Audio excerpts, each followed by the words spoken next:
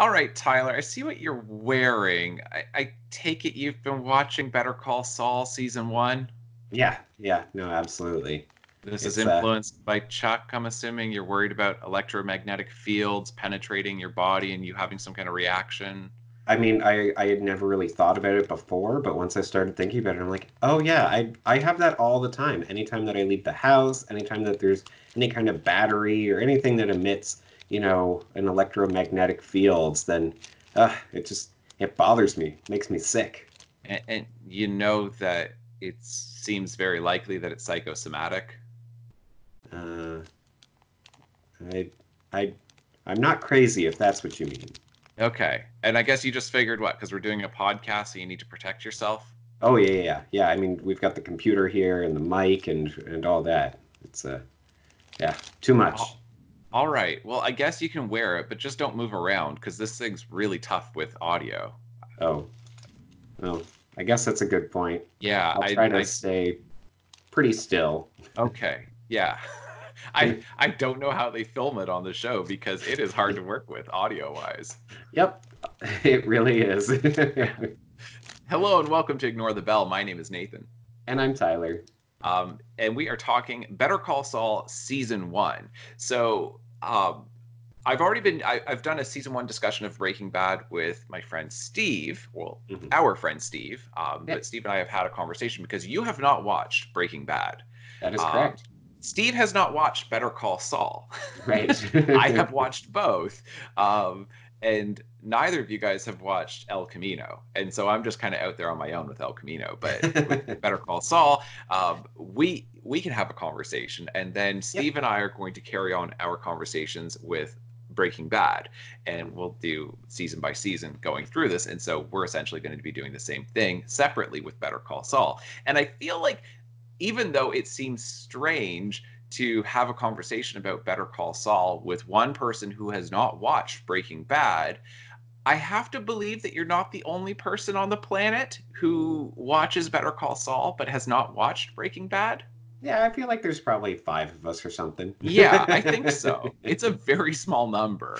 yep. But um, anyway, you can kind of speak to that group of people and then mm-hmm. i can speak to the group of people who kind of know where a lot of this is going because of watching breaking bad and i mean some of it we know some of it we don't know and um, that it so I, I i'm saying in other words you know if whatever your background is you're going to be fine with this whether yeah. you've watched better call saul and breaking bad or just um, Better Call Saul, then you'll be fine with it. But I, I, I do think I don't know from rewatching season one of Better Call Saul, uh, the idea of having two brothers work together on a project seems like a bad idea. I don't. I don't even know what you're talking about. yeah, that's right. I, I mean, I'm not even sure who I who I identify with more. If it's the older, brilliant brother, thank you, or the younger, kind of a jerk brother, thank you yeah, I'll, I'll take both. right. um, yeah. But yeah, no, uh, insofar I, I as the show is, go ahead. I, I, I can definitely uh, more relate to Jimmy than to Chuck. right. Yeah. Well, Chuck's kind of a, a he aside like beyond the electromagnetic psychosomatic thing that he's got going on he's an interesting character oh yeah um, yeah you know, and I don't know how many people can exactly relate to him. Right. Um, in comparison to Jimmy, where Jimmy has been an underdog essentially his whole life. Mm-hmm. So I, I, think a lot of people view themselves more as underdogs than as somebody who just has everything going for them all the time and is awesome at everything, as Chuck seems to be. Yeah, absolutely. Uh, but uh, anyway, we do have a sponsor for the podcast, and then we'll get into it. So our sponsor for this week is Space Blankets, um, conveniently enough. So listen, I, I, know that we're all worried about living in a surveillance state. You know, there's there's fears about the government invading your privacy. And while you might think that the solution is to just go completely off the grid and wear a tinfoil cap, the problem with a tinfoil cap is the government's still going to be able to spy on other parts of your body. You right. don't want them to know what your thoughts are, which is why you're wearing a tinfoil cap. But what about what you had for dinner? You don't want them to know that kind of thing. You don't want them to know about your heart rate or your blood pressure or any of those things because you know what's going to happen. A government takeover, they're going to know exactly who to give treatment to and who not to. Um, you know, so for that reason, you want to turn to the experts at protecting your privacy, the experts with space blankets. So, space blankets keep everything about you a secret from all those people who are watching. And let's be honest, we all know they're watching.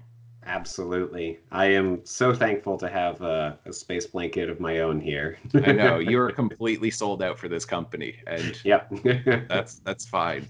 Um, yeah, and it's a good look too. It's very fashionable. Thank you. You're you welcome. should see the looks I get when I walk down the street like this. It's uh, yeah, I'll, it's I'll something. It's, it's definitely one way to attract the ladies. yeah. you'll you'll catch their attention. I, I don't know if it's good attention, but you'll you'll get their attention with this. Absolutely. All right, folks. I hope you enjoy. Oh man, I wish this discussion could go on forever. Ignore the bell. We're gonna keep going, people. All right, so we were talking uh, Better Call Saul, season one. So I, I want to get a little bit of background from both of us, like provide a little bit of background um, for how we came to the show, and then I want to give a little bit of an overview in terms of the plot and the characters because it's a fairly complex show, mm-hmm. uh, and so I've tried to map it out as best I can, just in case people who are watching or listening to this have not watched season one in a while to be reminded of some of these things because there's a lot going on and you've yeah. got the the i guess for i i lack of perfect attribution then i will attribute this to a vince gilligan de- device of having time jumps because mm. he's hmm. got a lot of time jumps in breaking bad and then it's just carried over uh, basically in the exact same style into better call saul and so because of that, it jumps around and you have completely separate stories that are going on simultaneously right. that are disconnected for a long time. Mm-hmm. Right. Ultimately, they start threading together, but they stay fairly disconnected for quite a while. Um, even more so in Better Call Saul than you get in Breaking Bad. And so, because of that, then I feel like it, it more so than what we've done with other podcasts and i feel like there is a little bit of a need to remind people of um, some of the plot elements. Right. So i mean i guess i already went over my background with breaking bad on the podcast where i talked uh, about season one with steve. Uh, so from there when i found out that you know saul goodman was getting a spin-off and that it was specifically going to be a prequel series mm-hmm. i was interested, but I have to admit, and I don't know if other people felt this way or not, uh, but I think even Bob Odenkirk, listening to him, um, has said this, who plays Jimmy McGill or, or Saul Goodman, because I watched an interview. He wasn't really sure that it was a good idea when Vince Gilligan first suggested it. He's like, um, I don't know. It was his response of, Do you think that this guy could have his own show? Because he's like, because he asked him that in like season two or season three of Breaking Bad. Um, and you know he came late to Breaking Bad. He wasn't in the the first season. And um, anyway, so asking the actual actor, well, what do you think? And he wasn't so sure. When I heard, I'm just like, oh, oh no. Like I'll watch it, but I don't know how many other people will watch it, and I don't know that it's going to ever reach the level of Breaking Bad or even come close, and it's probably going to get canceled after not too long.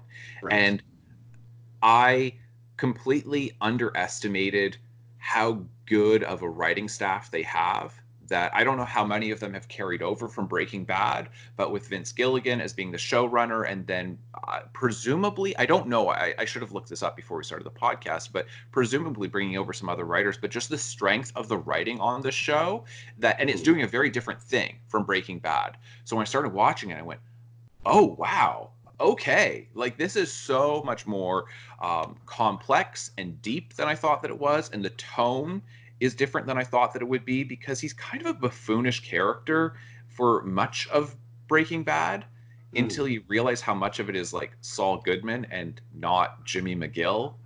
Okay. Do, do you know what I mean by that? I, I know that you haven't yeah. watched Breaking Bad, but I'm saying that Saul Goodman is a persona that he takes on that that's Right. his con man persona, but that's not really who he is deep down. Mhm. And so if you only see the con man for the longest time and you only get little glimpses of the real person behind it, of James McGill, then you don't even know what that show would be. right. Yeah. And so to start way before he is acting as Saul Goodman attorney, um, it's it's interesting because it's it's surprising. In other words, um, so when I first started watching it, I was worried. I wanted it to be good, but I didn't know what was there. Right? It's sort of like you know what I mean. You just don't know what kind of soil you have. right. um, Yeah. So you're not sure how well whatever this is is going to grow. And then starting to to watch it with season one and rewatching season one, I'm like, wow. They, I mean, Vince Gilligan knew what he was doing. I don't know why I was concerned because I have an incredible amount of respect for Vince Gilligan. Um, Mm. I, it just, it kind of, you know, there's some people who just can't let it go, and Right. sometimes it's just like you just don't have a different idea for another original concept and that you're going to do a spin-off like when is a spin-off ever as successful or even close to as successful as the original i mean the only one i can really think of off the top of my head would be frasier Yeah, I was going to say that too. and that it's Yeah, a different show and in Mhm. fact i prefer frasier to cheers agreed. yeah and i mean i think a, a lot of people do but aside from that all of the failed attempts at doing spin-offs uh, Yeah. there's so many so that was kind of my fear but that's basically how i came to the show because why would i not watch it if i loved breaking bad as much as i i loved it when i first watched it and the second time and third time and all of that why would i not continue on in that story universe right. so what about Yeah. you though? That's where I'm really like I know you've told me this before, but it's been a while since we talked about this. It's been a couple of years. Um, when I found out that you were watching Better Call Saul, but you had not watched Breaking Bad, it made no sense to me.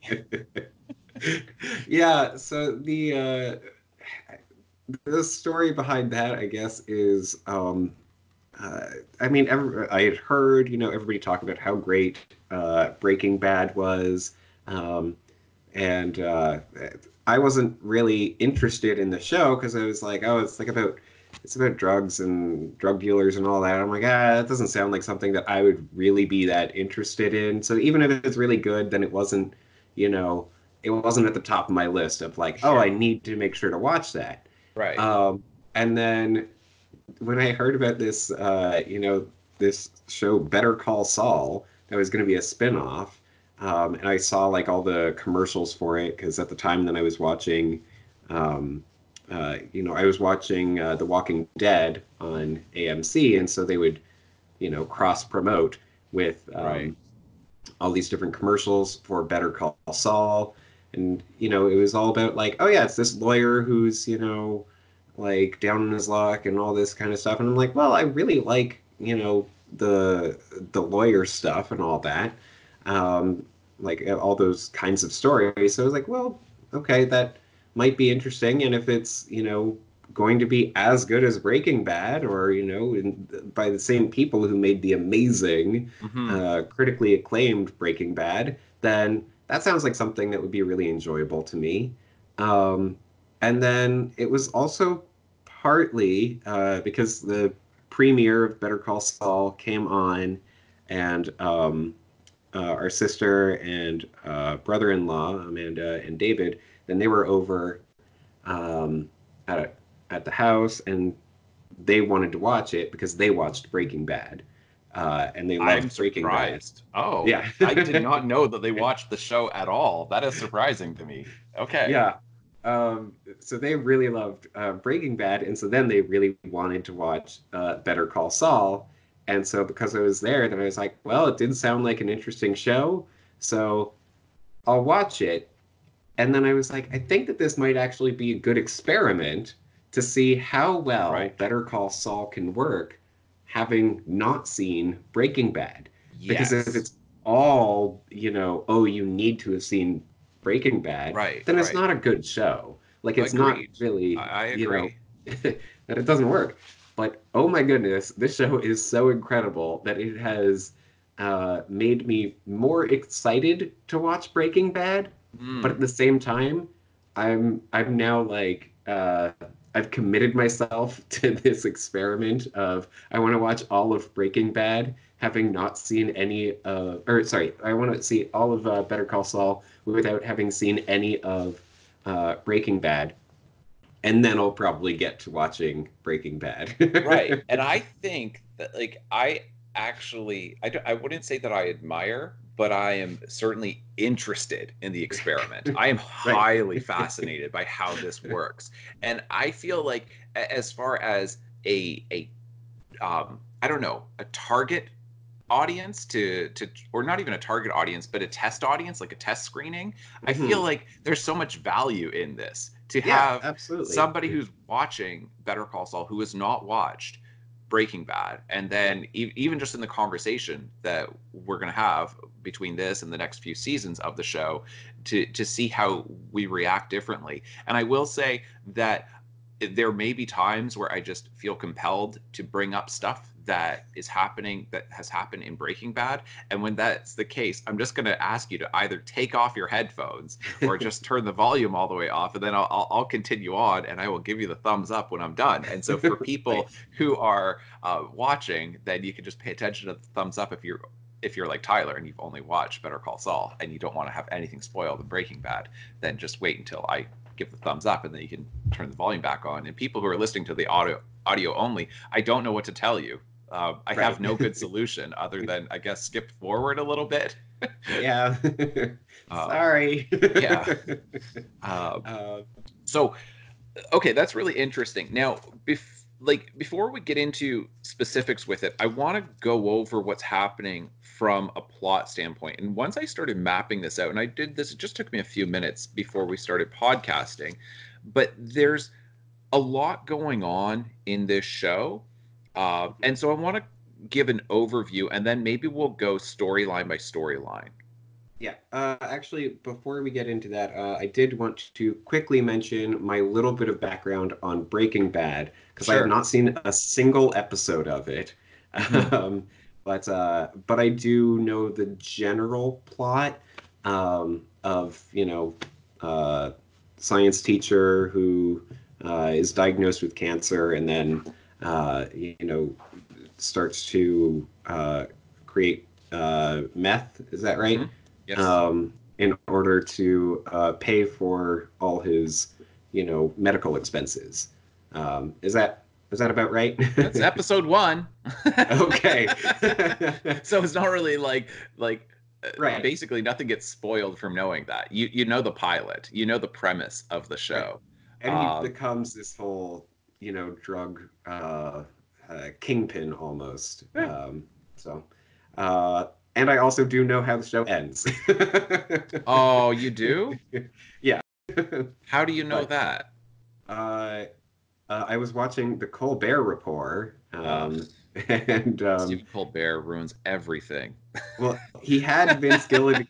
he, he had kidding. Vince Gilligan on the show, and um, oh. Yeah. It was the day after the Breaking Bad uh, finale. Right. And they just talked about the end of the show for the entire gotcha. interview. Well, so. I mean, I think that honestly, though, and and this is where this is why I have issues when people complain about spoilers, um, because really, you don't watch something for the plot. You watch it for the plot and how well it's executed. Yeah. Right. Yeah. You're, its execution is everything.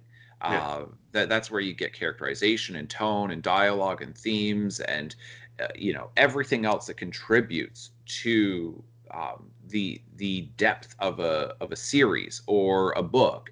That it's all about execution. So I mean, if you're you know, for most students when they're reading Shakespeare for the first time, if they're reading a, a tragedy, they know how it ends. They like, right. I mean, you just know it's a tragedy. Like, there's nothing surprising. Like, I, I mean, I knew from the second I started watching Breaking Bad, I went, oh, it's a tragedy. Okay, he's gonna die.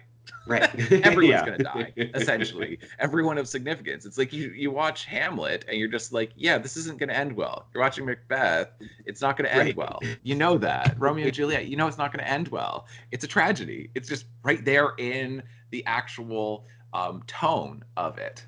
Yeah. Uh, like the entire um, conceit of it. So I don't think that that spoils it necessarily. Right.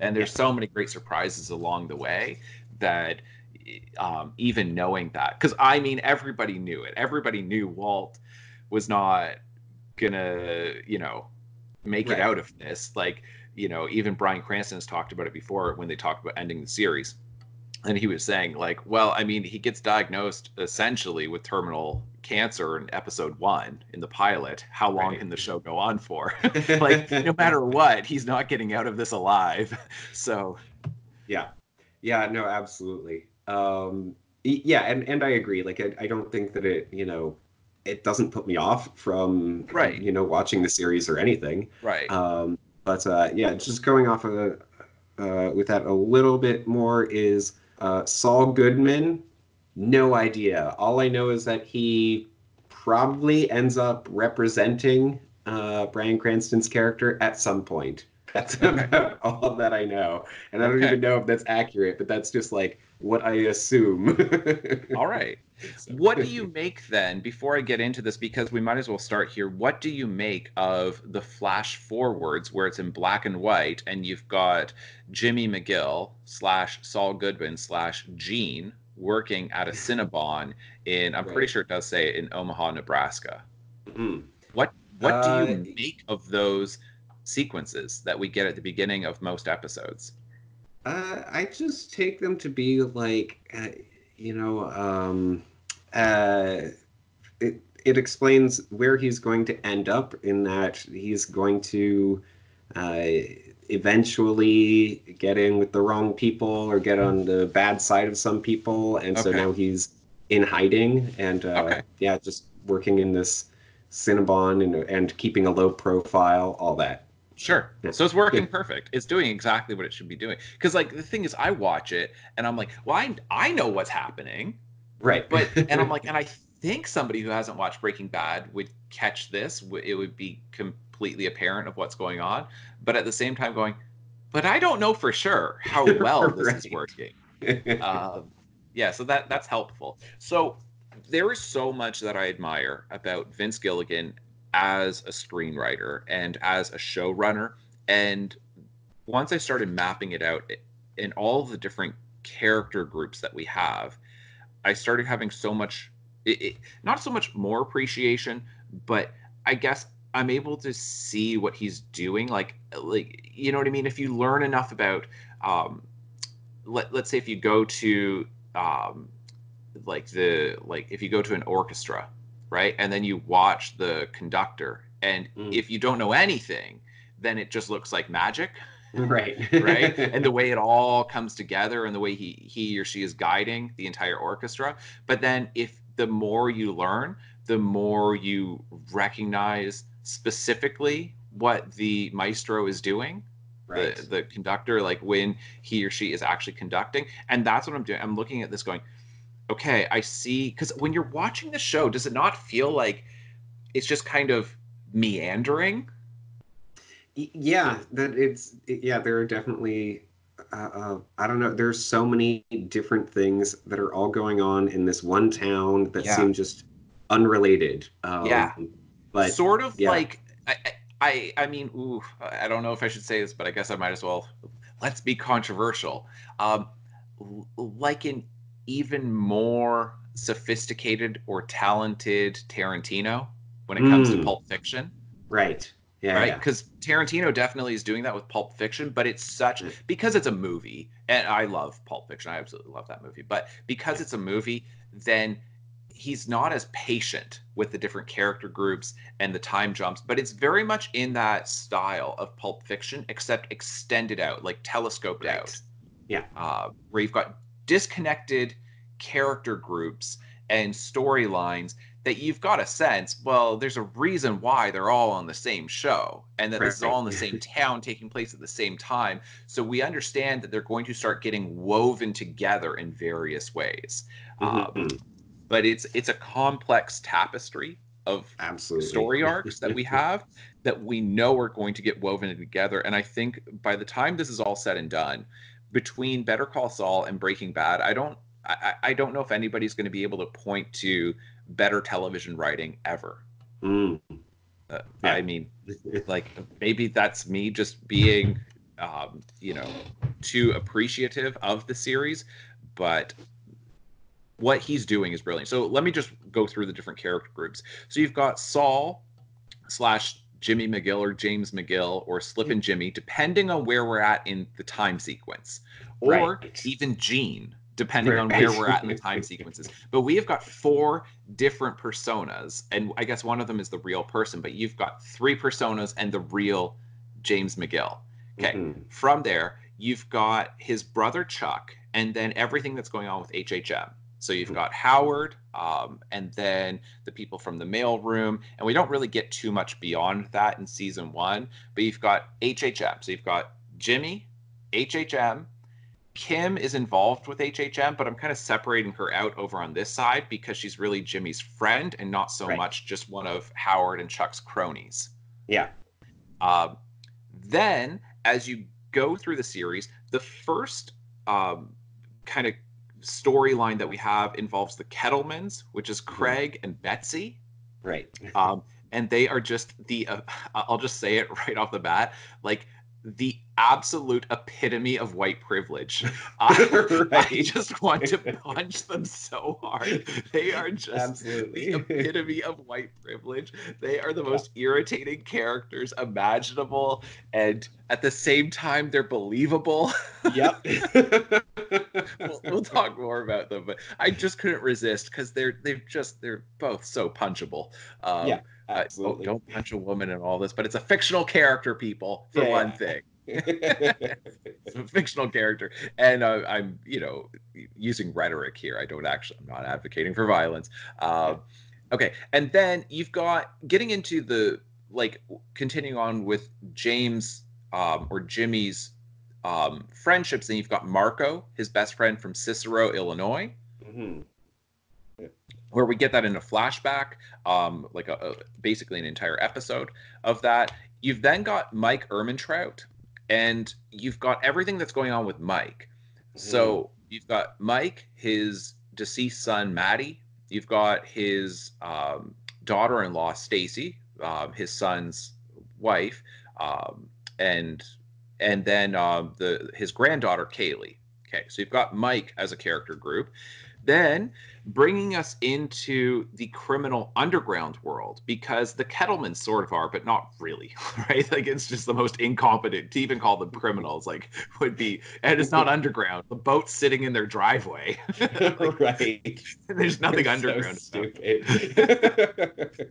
but as far as our entry point into the criminal underground world, then we get introduced to Dr. Caldera, um, or Caldera, Caldera, Caldera Anyway, uh, the the veterinarian yeah. who is an actual veterinarian, but he's got these connections to the criminal underground, um, and then from there, then we get connected to Price, who plays Nate from The Office, which is always how I think of this, you know, actor. You know, yeah. I can get you more pills with his like. I, am assuming it's Minnesota or maybe Wisconsin. I'm not sure his mm. accent, but um, anyway, so you've got Price, this dorky, you know, like fanny pack wearing. I don't know that he actually wears a fanny pack, but he's the type of dude to wear a fanny pack, driving his minivan, and obviously works in a pharmaceutical uh, manufacturing plant or something along those lines because he's able to get these pills. So then we get from there um, connected to the Salamancas, who are part of the cartel operating in New Mexico. So you've then got Nacho, Nacho Varga who is buying the pills from Price, but he's doing it, as Mike explains, separately from his crew of the Salamancas. He's doing it, you know, on the down low, and he doesn't want them to find out because mm-hmm. he's just doing this thing, um, you know, as, as a side um, enterprise. And then we also get introduced to Tuco Salamanca, who is the guy who's very upset that they call his grandmother uh, a biatch. Right. so that's basically all the different character groups. Um, but then, and, and I'm almost finished here, and then I want to get into the different character groups. But as far as storylines, you've got a bunch of things happening. So you've got basically now, then, so you have what's happening now, what happened back then, and what's happening in the future. So the mm. future we don't get very much of. We just get Gene working at a Cinnabon. Right. So that's, you know, next or the future. As yeah, far as what's happening now, we start out with the Kettlemans. Um, from there, Jimmy's able to resolve this. He's able to like, well, he, first he, he catches them camping, right? because Nacho approaches him and you know says, "Hey, we should rip these people off because they've stolen the money. They can't go to the police, and they're great targets." And then Jimmy is like, "Ooh, I don't know how I feel about this Kettlemans. You got to run for it, right?" So they go camping and they keep the money and all of this. They pay him a retainer, right? right? Even though it's obviously a bribe, and um, he uses this money to then you know he says you know upon this rock i shall build my church right quoting mm. um, scripture.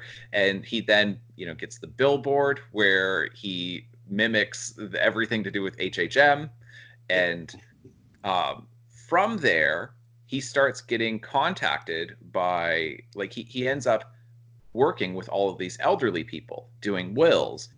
From there that then leads him into everything that's going on with sandpiper crossing which ends up being turning into this huge class action lawsuit that kind of pulls him back into the world of HHM. Because going back into the then, into the past, we find out that initially he was still living in Cicero, Illinois, where they grew up as Slippin' Jimmy, just this two bit con man who's going nowhere and all of this. He gets arrested because he poops through a guy's sunroof with the children in the back seat. yeah. Uh, a, what, uh, it, what, is, what is it called again? Chicago sunroof or something like that. yeah, something like that. I think that's what it is. anyway, so Chuck bails him out, but only under the agreement that he's going to get his that Jimmy will get his act together. He will essentially move out to Albuquerque. This is presumed because it's kind of taking place off screen, but this mm-hmm. is essentially what Jimmy tells Marco who's his best friend, then he's going to go to Albuquerque. He's going to start working for Chuck. He's going to, you know, get on the straight and narrow. And he promises Chuck that he's never going to do any of these illegal things again. That he's not slipping Jimmy anymore. That mm-hmm. that thing is over. So he starts working for Chuck. Spends years working at HHM in the mailroom, seemingly a pretty affable, likable guy in the office, but not anything, just a mailroom worker who is really into movies and like the you know Oscar picks and things like that. Right. Right. Yeah. and uh, but he's also going to law school secretly, and mm-hmm. he's doing mm-hmm. this, um, you know, through correspondence with, um, you know, the University of is it the University of American Samoa? Go yes. land crab. yeah. That's I love that. Go land crabs. It's like ooh, as a mascot, that just not sure that any college land crab. not sure that any college should have as their mascot crabs. Go crabs. um, so he, he he does that, and then this is all taking place in the past. He doesn't get hired at HHM because of um, Howard right? But it's yeah. not really because of Howard, it's because of Chuck. Yeah. And so that's ultimately what pushes him into becoming a public defender, and he's not really making any money from that. So then that's what pulls us into the now, which is then the Kettlemans. He's able to get enough money that he's able to get the billboard to do the advertising, which pulls him into um, elder law, which then pulls him into the Sandpiper Crossing um, conspiracy that's going on, this criminal undertaking that this real estate corporation is is undertaking. So you see how it all like actually pulls together yeah. in terms of Jimmy's story. But you look at that and you're like, you literally are dealing with three different time periods, but two in detail, but they all connect and they all resonate with each other. They all rhyme with each other of mm. Jimmy becoming like he's slipping Jimmy, no, no, no, I'll be good. And then as a lawyer, it's like, ooh, maybe I'll do this bad thing. No, no, no, I'll be a good lawyer. Um, and it's all connected back to Chuck. And then kind of a separate thing that's happening in the midst of all of this is why Mike has arrived in Albuquerque and what he's doing there, and Mike's backstory of what took place in Philadelphia. Mm-hmm. So that's season one. I think right. I've done a pretty good job of of going through that. Yeah, no, absolutely. Uh, that was uh, really, really well done. Um, yeah, and there is just so much going on, and that's why, yeah. like, when we had kind of talked about, like, oh yeah, we should do a, a Better Call Saul podcast, and it was like, how do we even do that? yeah, no, it's it's like season by season. I think is a fair way of, of trying to approach this. Mhm. Yeah. So, can we just go then through character groups? Sure. Um, all right, I guess.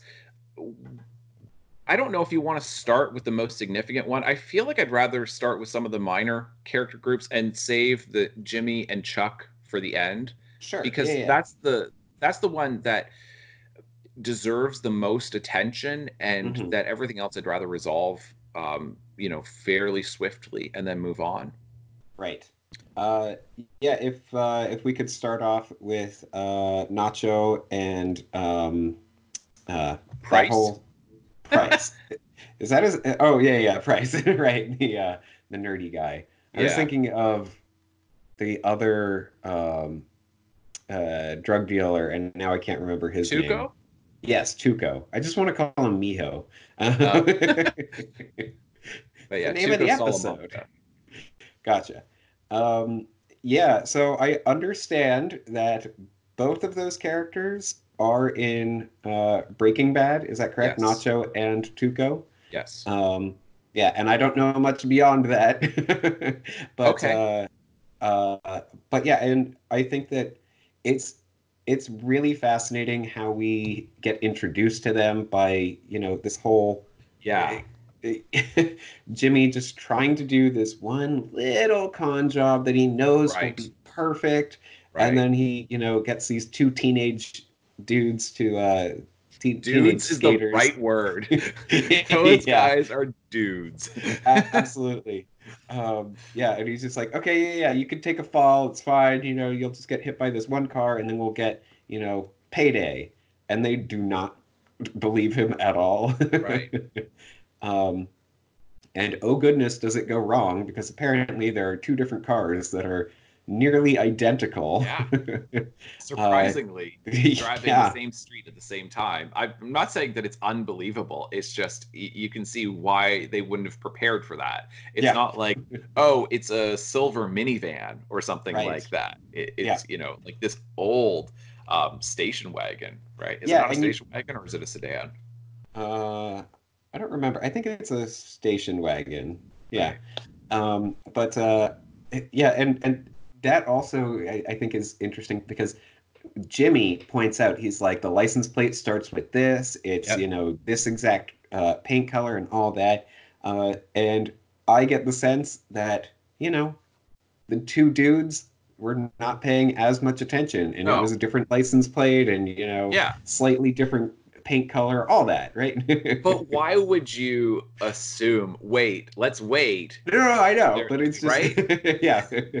but it's something that Jimmy would have paid attention to. Yes, presumably. Yeah, the way that he, you know, focused on it, that it seems Yeah. like he would have uh, Yeah. made sure. But uh, yeah, so um, man, and that's really like the first time that we get into like all the drug dealing and all that, all this underground uh, cartel stuff. Um, and it's so funny that it's like it's it's so great that it's done by accident. That it's you know, Jimmy is not trying to get involved with it. He does Right. not want to have anything to do with that. But the second that he does one thing that's just a little bit uh, sketchy, then he gets roped right into the criminal underbelly. Absolutely. So, one thing that is a, a leitmotif of Better Call Saul slash Breaking Bad, so just a recurring theme, is essentially the slippery slope of being involved in criminal behavior. Mm, That it is many criminals begin their criminal careers thinking it is a one-time thing. right. That is a that is a big leitmotif throughout both of these shows. It's let me just dabble in this, you know, immoral, illegal, unethical, however you want to describe it, but certainly illegal activity and justifying it and justifying it, but let me just let me just dip my toe in and then go whoop and you know you just you slide Right. right down and then you are in over your head before you even know it. And it's not even so much a cautionary tale i mean you could take it as a cautionary tale but that's not the intention behind these shows. Um, you know, it's it's. I don't think that that's the intention. It's more exploring who this character is, and Jimmy just right. can't help it. Right. That that's it's a character study. It's not a it's not a morality tale. Yeah. Yeah. Right. Absolutely. So he just he sees this perfect opportunity and he can't help himself and then he ends up all of a sudden being involved in this and, and, this is one of those things that i think most people understand that you know hey if you even if you had the ability to start selling something like to start selling drugs like if you found a bunch of drugs and you just want to do a one-time deal like there's literally a, a, a documentary on Netflix called I forget the full name of it, but I think it, it might just be called Cocaine Island, and it's mm. a dude from Florida who hears about this money in I think uh, Puerto Rico, and then or sorry, not money, um, cocaine. He mm. goes finds it and it's like it's just a disaster it's it's an amazing documentary this florida man finds bag of cocaine not a drug dealer decides to try to make a one-time score and things don't go so well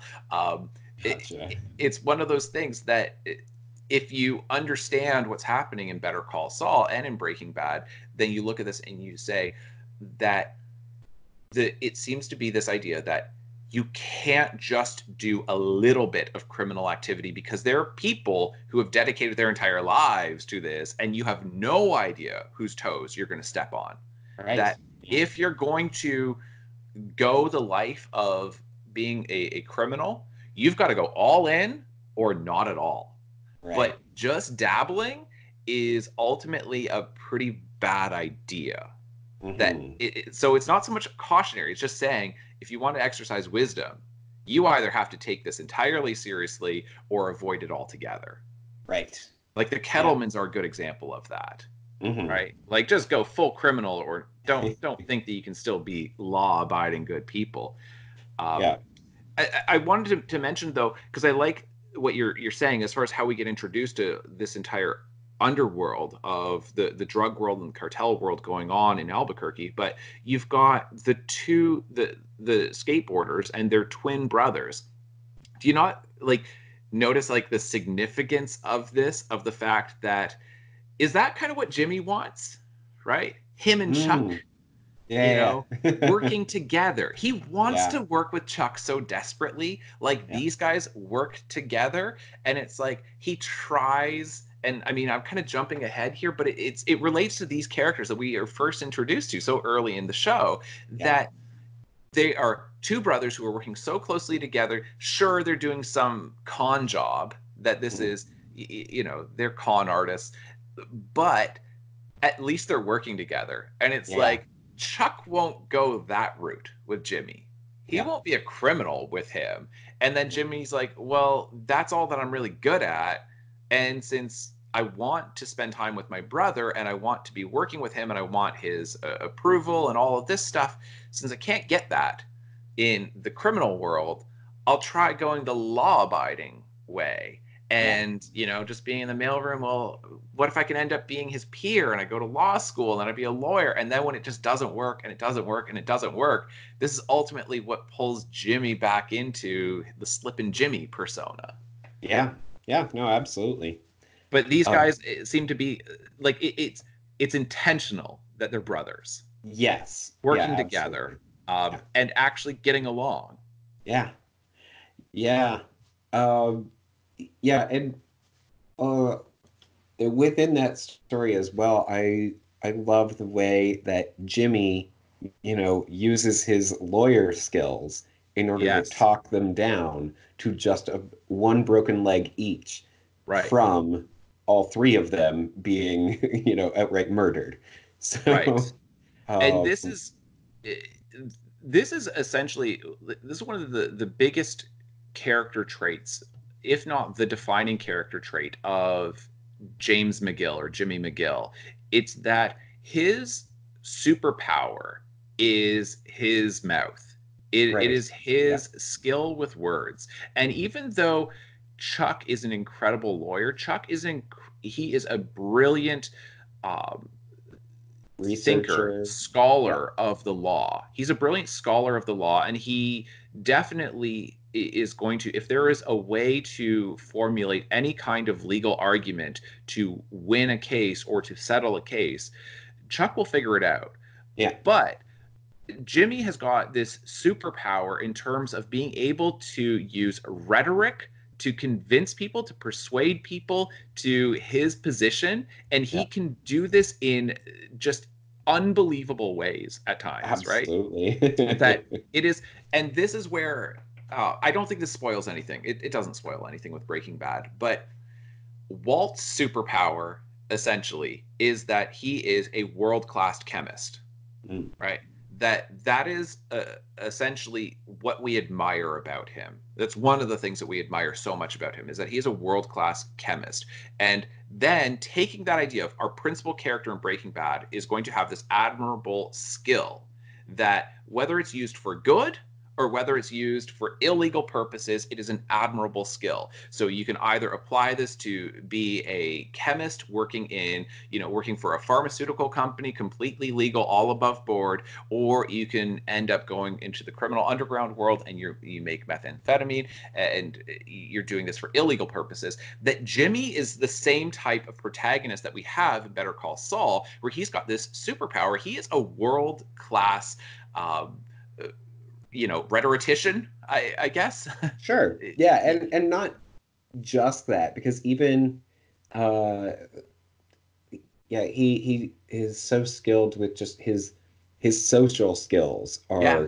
you know way way above the line. Like they're so incredible because and, and you know he does it, it can be read as you know like manipulation to some degree but not in a malicious way. Right. Um uh you know like with the old people where he dresses as like matlock or yeah, whatever so you know? brilliant.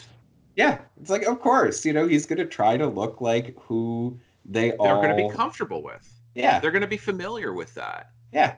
It's it's so brilliant and i love it you know? Yeah. you're watching it and at first you're just like okay he's watching this show and so he's just trying to learn from tv that's stupid. And then you see that he's drawing the suit and, yep. it's like, oh, he just wants to look like that. And he's guy. taking detail. It is so brilliant. Like Absolutely. when you look at this writing, that you just go, that is so genius. This idea because it misleads the viewer because you think, oh no, he's gonna try to be a lawyer by watching Matlock, and, and right. you're like, but he's like linen suit, you know, like yep. you know, blue tie, like whatever. He's making all of his notes on this, and um, it's it's a great he he is this but my point though is that and you're absolutely right because it's not just his words it's the way he's able to manipulate or persuade people and mm. his social skills they are just off the charts that it is to the point of i call it a superpower right that yeah, he yeah. he is so above the what ordinary people are capable of doing when it comes to interacting with strangers um, or mm-hmm. even people he's incredibly familiar with that he can persuade and manipulate people through his social skills and he can either use that for good or he can use this for illegal activities which is the entire premise of breaking bad. It's you've got this skill set. How are you going to use this? And what a brilliant theme to focus on for a TV series to yeah. to say that you can either uh, you know everything can be used for good or evil mm-hmm. right yeah. that it's just it's a tool and the tool itself is neutral and or i mean we can look at it and we can say well that's an admirable tool like it's it's very impressive it has a lot of power how are you going to use it yeah. and um yeah that it just it it rhymes well with breaking bad Mm-hmm. Yeah, no, that's that's really interesting the way that it works with that. Because yeah, like I just look at it, you know, with of course just with Better Call Saul, and I'm just like, yeah, right. it, it works so well for Jimmy. But right, yeah. Um, um, okay, so did you have anything else to to say with Nacho or Tuco? Uh, no, I don't think so. Uh, yeah, did you want to move on to Price then? um, yeah. So Price is is such an interesting character to me, even though we don't get very much of him in this. Um, but the way we first meet him, first of all, is hilarious. Like you can't not mention the fact, like that whole interaction that Mike has with uh, the the two other dudes when they're waiting for Price to show up to pick them up to go and do the drug deal. yeah. But I, I, I forget the um, the character's name from The Walking Dead, but yeah, yeah. you know the guy that he ultimately like hits, like that he takes the gun from him. It's like, how do you Yeah. not bring a gun? That Yeah. dude. and um, and so anyway, he I've got uh, at least three that I'm willing to tell you about. that I'm willing to tell you. Right. It is a, a lot of people have pointed this out that in it, and it is very much a Gilligan style of, of writing that with Breaking Bad and with Better Call Saul, as much as they are intense crime thrillers, they're also incredibly funny. Mm, And- Yeah. like like that scene that that scene is so funny when you see Mike who just you know then like hits the guy and takes the gun and he's like you know Yeah. like what are you packing pimento yeah.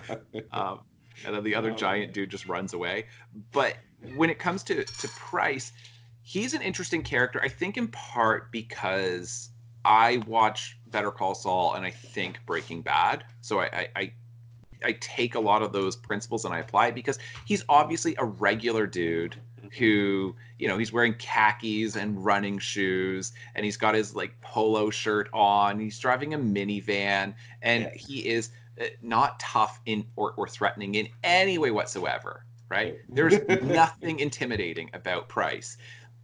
But he's trying to dip his toe into the criminal world of of drug dealing Mhm. and thinking I could just do it a little bit, right? Right. Maybe if I do it once. Yeah. And then at the end of that first meeting that he has with Nacho, then you know, when he's in the the van and he's talking to Mike, then uh, Price says, you know, well, I'm not a criminal. And then he's like, what you just did is criminal activity, right? And then he goes through this whole thing. It's like, I've known good criminals and bad cops. That that whole thing, I- like Yeah. Mike has got a lot of really great lines throughout th- this season, Mhm. and pointing out whether you think you're a good person or a bad person doesn't change the fact that you are a criminal at this point. So the Right. point is, what do you want to do? Do you want to continue being a criminal? Like it's a slippery slope that you think that you can just kind of dip your toe in, and maybe you can, maybe Price can, and he can just pull himself back out. Um, because the reason why I think it's so significant to talk about is that this is ultimately what happens with Mike and with his son Matty, where Mhm. Matty refuses to dip a toe even a little bit into bribery and embezzlement and you know getting paid off and being connected to the the mob and whatever all that stuff that's going on Yeah. within the Philadelphia Police Department, at least within their precinct, that because he refuses, he's like, no, I won't, I won't, I won't. And Mike's like, everybody was on the take, everybody, that nobody could then be responsible because we're all guilty, that you can't turn in anybody because that implicates you. Yeah. That that's essentially what's happening here with Price. Price wants to believe that he's still a good, upstanding citizen, that he's not doing anything wrong. Nobody's going to miss these pills. It's a small amount, and yeah. all of these things that he's ultimately not doing any harm. And Mike is saying, like, no, you've crossed a line here. Whether Yeah. you want to admit it or not, you have crossed a line. And I'm not judging you on a character basis. I'm not saying you have bad character or you're a bad person. That's still undetermined whether you continue on this path or not. You can be law abiding and be a terrible person. And you can be a criminal, but actually be a pretty good person according to the logic that we have throughout Better Call Saul. Mm-hmm. So, Price then, his response to it is not, I'm a, like, he doesn't really continue on with the, I'm a good person or I don't know about being a criminal. He just says, well, I can get more pills. Right. Like, it, it's Yeah. just, he doesn't seem to want to have that big metaphysical conversation about his, the ethical implications of it Mhm. uh, he just is thinking, well, that worked. I didn't get in trouble. That went well. There was no shootout. I didn't get beat up. They didn't rob me. I was able to take these pills from work, and I've now got a envelope full of cash. Yeah. So I can do this again. Yeah.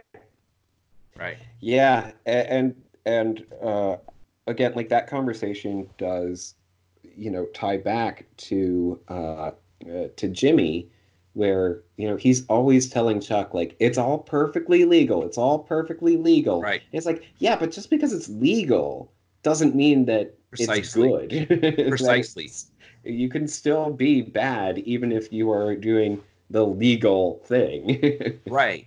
And surprisingly enough, it is the crooked retired cop who is a murderer and is helping out, you know, these criminals in this criminal underground world Mm. who is the moral center of the show. right. yeah. Because it sure as hell isn't Chuck. Yeah. Yeah. who's a law-abiding lawyer. It's not Howard. Um, it's not Kim, even though you could argue that it's Kim, but it's not because she kind of gets a kick out of Jimmy's ability to be a con man, Right. Yeah.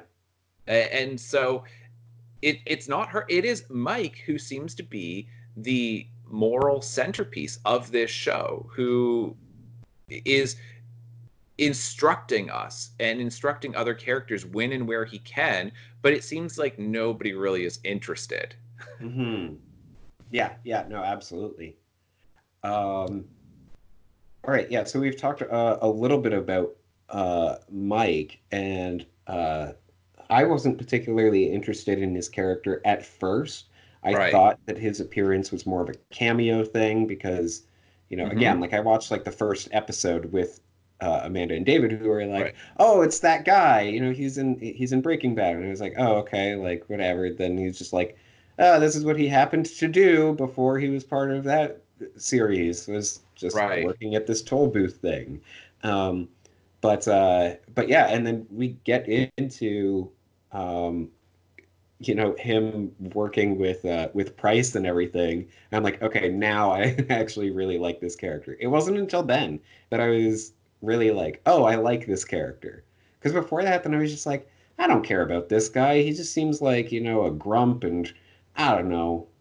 It, it, all this stuff like with the son I'm like, this isn't important to the law stuff. agreed and that is where i'm really surprised about what gilligan and the other um, writers have done with better call saul it's Mm. so surprising because the show even though it's called better call saul we don't even really get saul goodman until like season four in the very end of season four which Mm. i'm not really spoiling anything but i'm saying like he doesn't even really go by saul goodman Yeah. for the longest time so it's like we're going to title this show better call saul what's the main character's name jimmy is there anybody on the show named Saul? Mm, no, not for like 40 plus episodes.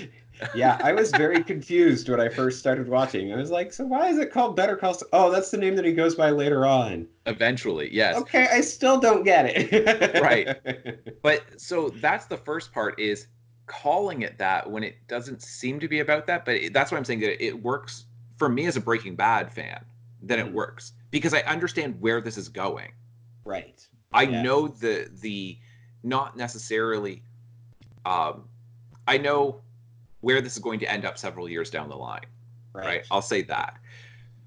But the other surprising thing is that the show is in many ways just as much about Mike as it is about Jimmy. Mm-hmm. Yeah, no, absolutely. And in a satisfying way. It's not at first it seems frustrating. Yeah. But it makes perfect sense and you don't really get this too much in season 1 so I'm somewhat spoiling uh, Better Call Saul seasons 2, 3 and 4 and kind of but I mean as long as you've got some sense of what happens in Breaking Bad like you're fine but I'm just saying if somebody wants to skip ahead 30 seconds that's fine. But uh, because it's connected into the Breaking Bad universe, then Saul Goodman is not our entry point into that world. It's Mike, Okay. right? It's it's like because you can see from the show, it's Mike who's involved immediately yeah. in season one. Saul, like Yeah. Jimmy, has nothing to do with the with the Salamancas. He meets Tuco, but that's Right. not because of anything to do with the cartel. That was Yeah, just yeah. some con job gone wrong. Um, yeah. but as far as how does this show connect to Breaking Bad, then it's like, well, there was this huge cartel presence going on in Albuquerque and throughout the American Southwest. And so we need to know what's happening before Walt starts in on all of this.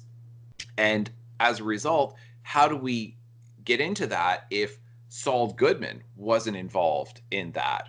Well, we have Mike. So if we just introduce Mike, he is our entry point into the underground, the criminal underground. And that's why I think he's such a prominent part of the show, because that's a side story that's happening that's pretty disconnected from what's happening with James McGill. Right. Yeah. And there's a reason for this is ultimately they are going to intersect, but they're not mm-hmm. going to intersect for a really, really long time. Right. So yeah. as far as my admiration for Vince Gilligan, like that's a big part of it is that Vince Gilligan respects his viewers so much. He treats them like actual adults, intelligent adults who have patience and are willing to see through storylines for dozens of hours before mm-hmm. they're going to start connecting that right. literally we were talking dozens of hours of screen time before these storylines even start intersecting that even though we know they're happening at the same time he's just going people will be patient they'll wait yeah. for it and, and, good intelligent mature viewers will and yeah. viewers who won't would not like the show anyway right yeah, that's just not absolutely. their audience. If you want like immediate payoffs, you know, somebody getting like hit with a pie every three seconds, then you know, go watch, watch something The Walking else. Dead. sure, watch The Walking Dead. I was going to say watch Impractical Jokers, but I don't. Even, I've never watched a second of that. That might be an inaccurate representation. I don't know. I'm just saying, from what I understand, it's kind of like you know bits that they have along the way where you don't have to wait too long for a punchline. Right. Um, yeah. So, anyway, uh, then I guess we might as well keep going with Mike if you're okay with that. Yeah. Yeah. So I think you're right that at first when you see him, then it just it doesn't make any sense. As far as the introduction to Mike, though, it's so brilliant to me because I don't know if you've noticed this, but he is literally a troll under a bridge yes. operating a toll booth. for a guy who kind of is troll like in his demeanor, you know, yep. and like to some extent his physical appearance, you know what I mean? He, he's not um like gonna gonna win any um you know handsomest man in Albuquerque contests, right? Right. I, am yeah. not like I'm not being like harsh. I'm just saying that he looks tough. He looks intimidating, right? And he yeah. just looks so grumpy and with his overall demeanor of his you know um, as Walter describes him, his dead eyes. I feel mm-hmm. like that's just such a great description because they're kind of half closed and they never really respond to things. He's not like expressive, right? He just looks exhausted and angry with everyone. Like not even angry, but just exasperated. Yeah, he's just. I'm just here. You guys are gonna do your thing. Whatever. It doesn't matter. exactly. It's not enough stamps. Oh, it's not my problem go back in, get more stamps, or pay the toll. You know, just that yep. flat, affectless attitude that he has towards everybody. But he is essentially a, not just essentially, he is acting as a troll under a bridge, controlling a, a toll booth. And, and yep. that's our introduction to him. And then we find out why he's in Albuquerque. Mm-hmm. So then when you get into his whole backstory, and I think it's the the scene at the end of I don't know, I think it's episode eight, episode seven or eight, something like that, where he ultimately reveals to his daughter in law um, what happened with her husband, with his son, and what he did about it. And that, that amazing scene, that incredibly affecting scene that's just so emotional and powerful. It, that is it sneaks up on you yeah. because you never see him really emote in any way. Mm. And then it's just it's all there and you realize, "Oh, this man has the every I love every line of dialogue that he says there and what ends up being a monologue where he ends up saying, you know, like with his son that he encouraged him to take the bribe, but because he kind of hesitated in taking it, then even that is enough to show that he's not fully committed and they can't trust him. And that he says, you know, and, you know, that as his father, he didn't like, he was like, his son was stronger than him. It was a better mm-hmm. man than him. And it didn't make him better. He made him lesser to say yeah. that about your own son and to then have the guilt of, it's my fault that he he died. And even though he kills the guys the the police officers who have murdered his son even though he's killed them that doesn't do anything. And yeah. mike is now at a point in his life where it seems like it, he's got no significant other. He's got no romantic interest in his life. He has no son, and as far as we can tell, no family members, no friends. He was a, a raging alcoholic in Philadelphia, and when he arrives in Albuquerque, he's still like essentially sobering up, mm-hmm. right? Yeah. That he, because um, that that appears to be what he was struggling through. Because he even describes that to his friend who who shows up, one of the internal affair uh, internal affairs um, investigators. Right. Um, you know, the the older black guy who sits down beside him and yeah. then you know he's like how do you feel and he's like like i crawled out of a bottle right like yeah. he's still struggling through um, the early stages of what seems to be sobriety for him mm-hmm. um, that you look at this and you're like in some ways what does he have left to live for and it really seems to be his granddaughter and taking care of his daughter-in-law of caring for both of them because his son is no longer there to be able to care for for his you know wife and his daughter. So mike is like well i'll try to help wherever i can if stacy will allow me to help. Yeah. And that seems to be his entire purpose at this point to just not trying to change their lives but to bring just a little bit of goodness into their life that he has got such modest goals in life to try to help even a little. Just watching kaylee just for an hour you know to pick her up from you know preschool or, or daycare or whatever it is like yeah. It, it, his character is yeah so fascinating. You do have all of that going on with his uh with his daughter-in-law and his granddaughter and it is so incredibly uh emotional and you get why he is um you know so so keen on helping them because yeah. he does feel like it's his fault that you know that they are on their own that they yes. don't have um you know Matty there anymore um and it's uh you so you have all of that going on and then even the fact that he is so strict with the stamps, then you know you get it once you know all of that about his son because you're like, oh, he's trying to be like, you know,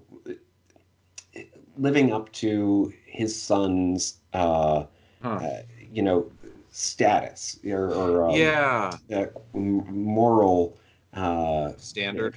Yeah.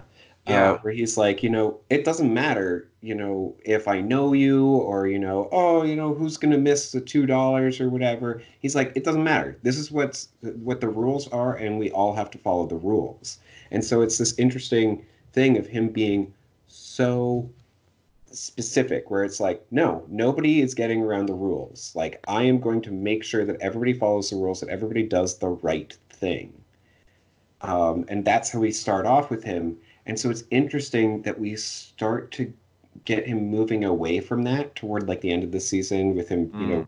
working with Pryce and everything. Yeah. Where it's like he's getting over um, uh, the mourning period uh, of his son, where he's starting to forgive himself, where he's starting to be yes. like, you know, well, I still need to provide for, uh, you know, for those that that he left um, and one way of doing that is by getting back into this, you know, unsavory uh, criminal world in order to, you know, get a little bit of more money or or whatever it is. Yeah, I I really like that reading I really, really like that reading. That as he is moving through the grieving process, he then, and, and in some ways, respecting the rules of the toll booth mm. is his way of honoring his son and trying to be yeah. more like his son. But then as he starts moving on and healing, then he starts going back and I say back into this criminal underground world because even though he was a police officer, he was obviously on the take. He was doing right. illegal things. Um, yeah. So I wonder. I I can't remember what is the inciting event that causes him to go back to the veterinarian and ask about the jobs available because I know I and it it's terrible because I should have looked that up before we started talking. And even though I had just watched rewatched season one, I don't remember what the inciting event is that gets him there because he he shows up again with the dog, right, to get the checkup. So that's kind of the excuse of being able to talk to the the vet to Doctor yeah. Caldera. Yeah. Um. Yeah, I think it's. Uh, is it because Stacy starts allowing him to spend time with Kaylee? Yeah, possibly. I, I, I know. I'm trying to think of what it was exactly uh, now as well, and it is you know hard to keep track of. Uh, as we had mentioned, all these different storylines yeah. and, and everything. Storylines um, and, and time periods and all yeah. of this stuff. Yeah. And, and, and, character groups. It's, uh, yeah. So I think that it was, um, I oh. think that it's because he's able to spend time because at first because Stacy was so suspicious of him and mm. she didn't know she thought that it was eh, Mike who called her husband the night that he died that you know and there was the big fight that thinking like what did you have to do with this with right. you know she's suspicious about how he died and then it, it, she doesn't want him to spend any time with her daughter mm-hmm. right that yeah. we see that initially that she isn't as best i remember she just drives right past him that he shows yeah. up and he's looking you know like sitting outside of her house and she looks at him they don't say a word and then she keeps driving but then ultimately she then asks him if he can pick up kaylee um, mm. because she's not able to get there um, from daycare i think it's that because i think it's that mike wants to provide and so, yeah. knowing that the criminal underground is like the world of criminality is going to provide him with enough money to easily support them. Yeah. But what else can a retired police officer who is suspected of murder? you know what I mean? What else yeah. can he do? Uh, like if it's working at a toll booth, he's you know presumably making minimum wage or pretty close to it.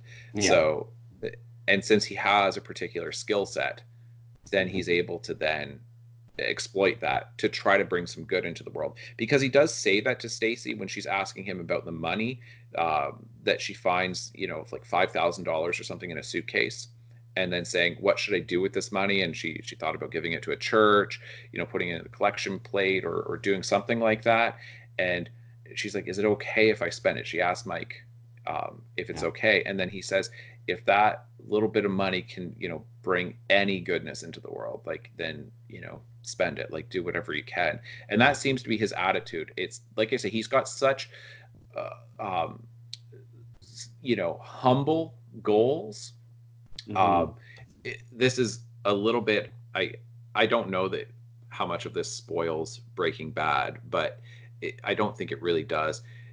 Mike in comparison to walt Walt has got such lofty goals of he, you know, wants to like his ambition and, and his desire to earn all of this money for his family is like up here. And Mike is just like just a little bit just even a little bit that can make my family's life a little bit better is worth it. He just wants a little bit of goodness in the world. He's not trying to change things and change the system or anything like that. Yeah yeah, no, absolutely. Um, yeah, so he he really does become such a fascinating character as we get toward the end of season one.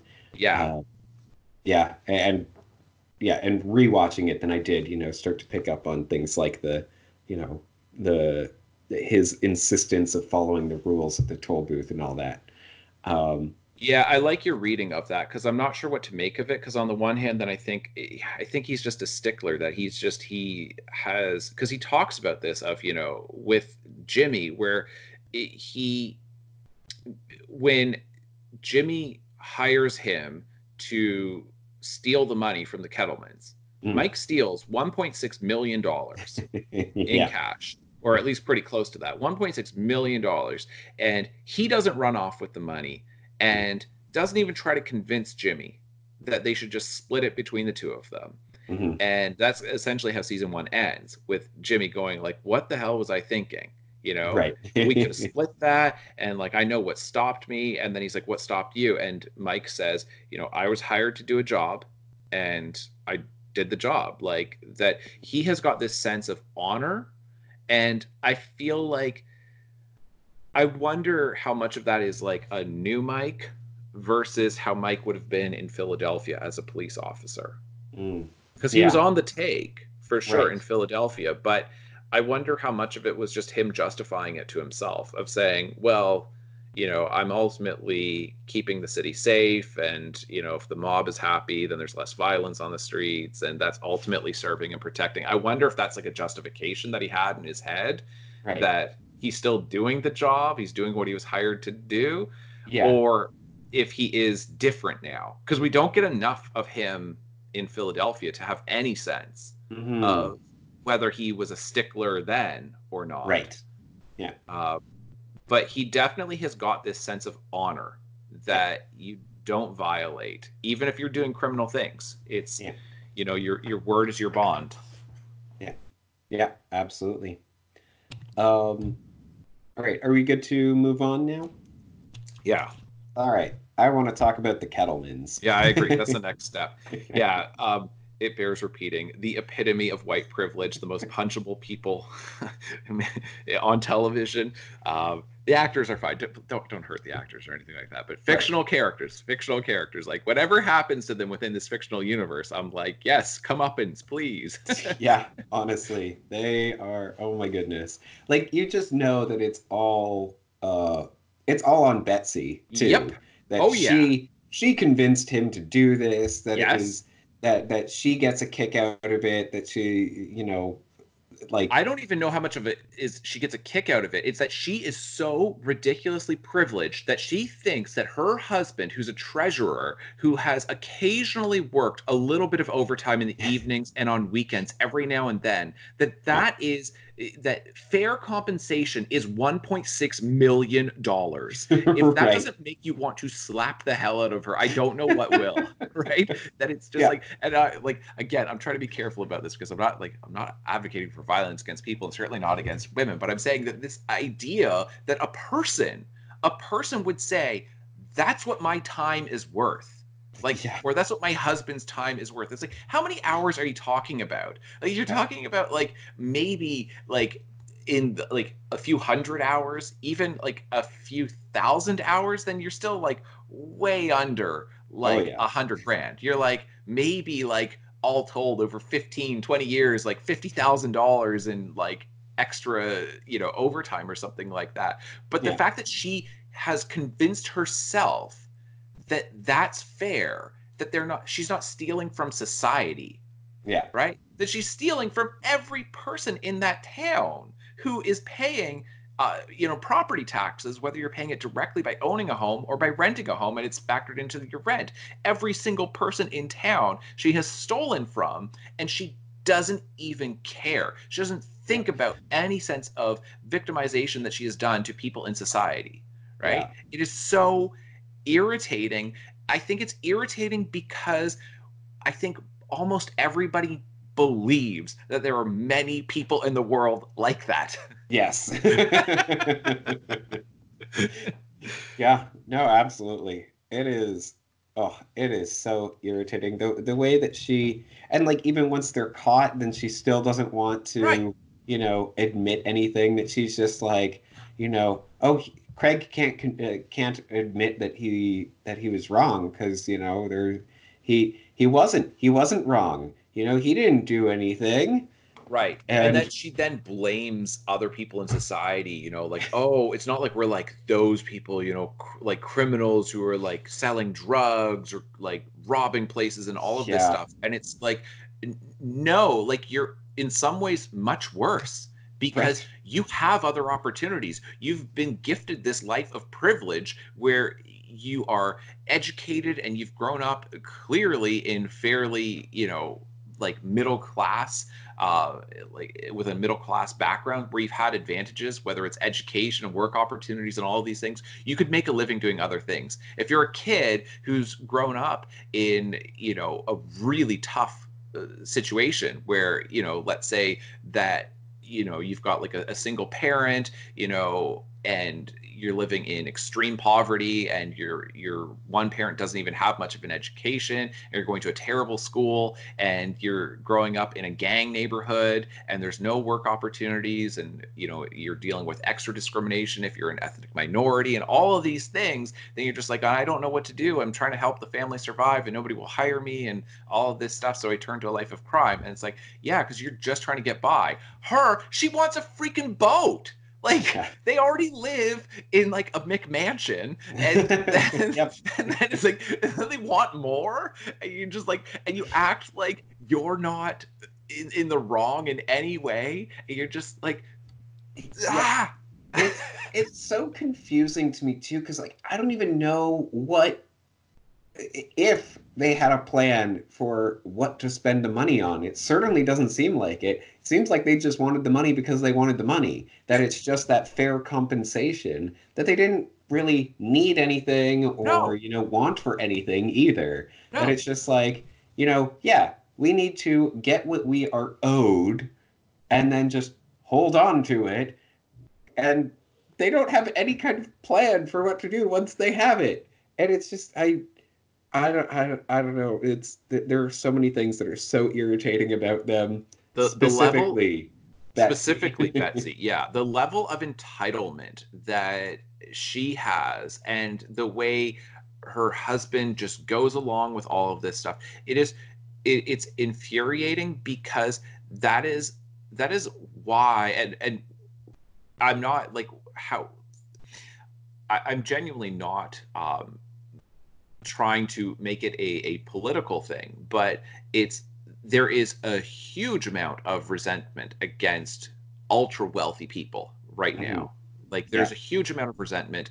Uh, whether you share that resentment or not, this would be like she's a car like she's a caricature of like uh, of entitlement of well we're entitled to it because right be, just because we're good people and therefore you know we should have more because we want more like why wouldn't we have more that yeah. seems to be her justification for it um, and yeah. then even when the the money is gone she still is thinking that she has leverage because right. she's so entitled she is so she is a woman who has gotten her way basically every moment of her life forever yeah yeah. That she's always been able to get her way and without really working that hard for things, having a really, really easy life. And she is what's so appalling is that you've got the the best standard of living in the history of humanity, right? You're mm-hmm. living better than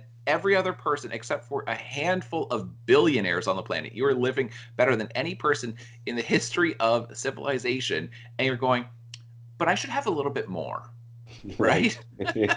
Not even I want, I should. It's that yeah. entitlement. That's where I think it's super irritating. Because you could say, yeah. like a lot of people will say, like, well, I want more. Oh, it'd be nice to be able to do this. I would like that, but I don't need it, and I'm I don't deserve it, mm-hmm. right? Like yeah. some people legitimately do deserve it, and like right. when they go out and they actually, you know, really build something and they they work at it, then it's like, sure, you you are owed that money. But in her case, she's not owed it. It is exactly what entitlement is. Yeah, she doesn't you want something as for... far as we know. Right. that it's she's yeah. So it's so great to have these characters early on in the show and because they're also serving in a in a functional way where the the way Saul, I keep saying Saul, but the way Jimmy, what he learns from them, how he is, uh, he says this, I think, to to Kim that um, he's surprised because he expected criminals to be smart. right. and he just this seems to be what ultimately pushes him into becoming more of a criminal lawyer as Jesse Pinkman from Breaking Bad puts it, right? It's like you don't want a criminal lawyer, you want a criminal lawyer ah, that right. that Jimmy is we and I, I don't think that gives anything away. We know where it's kind of going. Even if you haven't watched Breaking Bad, you've got a sense of seeing even from season one what he struggles with, right? Yeah. That yeah, and, and I mean even uh, you know when Betsy is first, uh, you know, talking to to Jimmy, yes. and then she's like, you know, you just seem like the kind of lawyer that a guilty person yes. uh, would hire. Exactly. Um, maybe she doesn't even say it to Jimmy, but I think she might. No, she it. does. Oh, okay, yeah. Um, but yeah, it's and you're just like, eh, yeah, I I understand that point of view, but you are guilty and right, right. Um, this thing is, but you are guilty. You're just so entitled and privileged that you can't even, like, as as he puts it, you know, like her and logic are on a good day yeah. They're totally separate. They are living in completely different places. Absolutely. Like, oh man, she she is honestly on another planet. Uh, yeah. That's is... what I'm talking about with the comedy. Like that yeah. line is so well written and it's so funny, but it's yeah. not slapstick. It's it's right. not a pun. It's just it is because you've created such great characters that that insight into her, that little jab, is yeah. so spot on that it's impossible not to laugh. yeah, you would have to return the 1.6 million dollars. What 1.6 million dollars? There's no money. It's like right. but this is like I say, they, they are serving this this functional role because you have incompetent criminals in mm-hmm. season one. So you've got, for instance, you've got Pryce, who is he's bumbling completely uh, the antithesis of intimidating, right? He's a complete pushover, and you go, that's a drug dealer.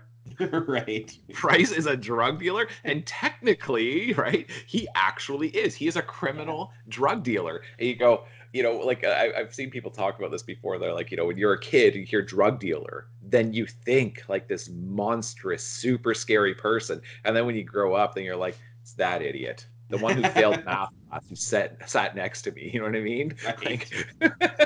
Like, just like, yeah, it's like the one who like smoked pot all the time and then dropped out, and it's like, you know, doesn't wash his clothes often enough. You're like, that dude, and you're like, oh, okay, that's a drug dealer, right? And it's like, and it's not entirely true on the show, but you do have some of that, mm-hmm. right? So you've got Pryce, who's not a skilled criminal, right? And then you have the Kettlemans, who are not skilled criminals, but the real big bad criminals, the cartel members, are underneath the surface. So yeah. you don't see that at all. And then Mike, who's actually quite a criminal, he is just like out there in plain sight with his regular day job and you wouldn't assume that he's a criminal and he's a retired police officer and he knows enough about the law and enough about the justice system to know how to avoid getting in trouble yeah. right?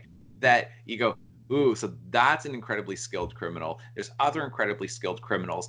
But jimmy i think underestimates how skilled the top criminals are and so mm-hmm. this is ultimately what ends up leading him down this path of I can be involved in this. I can take a step over here, right? It's not going to be a slippery slope. I can mm. get involved in this because if the Kettlemans, you know, did what they did, then like I'm smarter than them. I right. craftier than they are. Uh, yeah. That that seems to open up mentally for him the possibility of going down this pathway. Mm-hmm. Yep. Yeah. No, that's that's a great way of putting that. Um, all right. Uh, are you good on the Kettlemans then? Yeah. let's maybe talk um, Marco, and then we'll talk Kim, and then we'll get into Jimmy and, and uh, Chuck. Okay. Sounds good. Uh, so Marco, of course, is his best friend from Cicero, Illinois, mm-hmm. and um, I, I don't know what to to say about him, but obviously, you know, the the the most significant thing is the fact that you can see that if Jimmy did not, if if Chuck didn't bail Jimmy out when Jimmy was in trouble for the Chicago sunroof thing, right. then and if Jimmy didn't go to Albuquerque, he and Marco would just continue scamming people like, you know, again and again and again until probably they get either, you know, incredibly um like I don't know, violently assaulted mm. or arrested. Right. But short of that, they'd just be hanging out in the same bar, yeah. doing the same stupid con jobs, making a little bit of money here and there, and um, just going nowhere that yeah. even though probably something like 10 years have passed between from when you know Chuck picked him up until he goes back, then because not much has really changed for Marco. Mm-hmm. And so much has changed for Jimmy. Yeah. And to be able to see that, that then when Jimmy goes back and he goes back for uh, something like a week because he's been kicked out of his own case, class action lawsuit against Sandpiper Crossing because mm-hmm. HHM doesn't want him, but really it's because Chuck doesn't want him. Yeah. Right. So he goes back to that because it's like, well, if Chuck doesn't want me, then I'll go back to this old life that I had. And then realizing I'm not that person anymore. Right. right. That I can do this, but it's just not who I am. He doesn't even tell Marco until the last day that he's there that um, or I guess not the last day that he's there, but the, the essentially the day that Marco dies, that he even tells him that he's a lawyer. Right. Yeah. It's just that didn't come up in a week. yeah. Spending all day every day with Marco, like it, eh, that because uh, you know he's like, yeah, I've got clients and all this, and then explains that he's a lawyer. But Marco represents the he represents Slippin' Jimmy. Yes. Right. Yeah. But Slippin' Jimmy is gone, and he can't come back because even when Jimmy tries to do that con job on uh, Betsy Kettleman with the skateboarding twins. Right. That even when he tries to do that and he talks about Slippin' Jimmy, he explains it to them. He's ultimately not Slippin' Jimmy anymore. Mm-hmm. Right. He's just not. So the stuff that he starts doing, like his con with the billboard, for instance, yeah. Right. With like having the, the work fall off of the platform and then he goes up and rescues him and it all gets filmed to get publicity. Right. That's just an elaborate con job. That's it is Slippin' Jimmy, but not really. Mm-hmm. It's something else entirely. Yeah. Well, actually, okay, that that's interesting. Um, because I, I was, I could see either reading for the billboard incident where either it it was all planned or that just the part of the plan was you know designing that billboard that way and the guy falling was actually uh, a spontaneous thing that he didn't plan. He did plan it. It's it's in the show. Um, he gets up there and then they shake hands and the guy says what took you so long? Yeah but i didn't think that that was like because that doesn't necessarily mean that they had planned for him to come up and rescue him. It could I'm just sure. mean like you know, he's like, you know, like, thanks so much. Like, man, what took you so long? You know, ha ha ha. Like, that sort of thing. Because there, like, that would definitely also happen. I, you cannot convince me of that. Okay, I, I think that that's possible, but there's watch it again. There's no way. There's no way that that's uh, how that scene is meant to be interpreted. I'm telling you, if you watch that scene again, then you're going to see that that the they obviously have had this agreement of how things will function. That this has been his plan all along to get him to fall off. Yeah, I don't know. I'll I'll, I'll watch it again, but yeah, I've seen it twice now, and both times, and I went, eh, I could see it being read either way. It so. can, it's a bad reading it's a it's a incorrect reading. I'm telling you.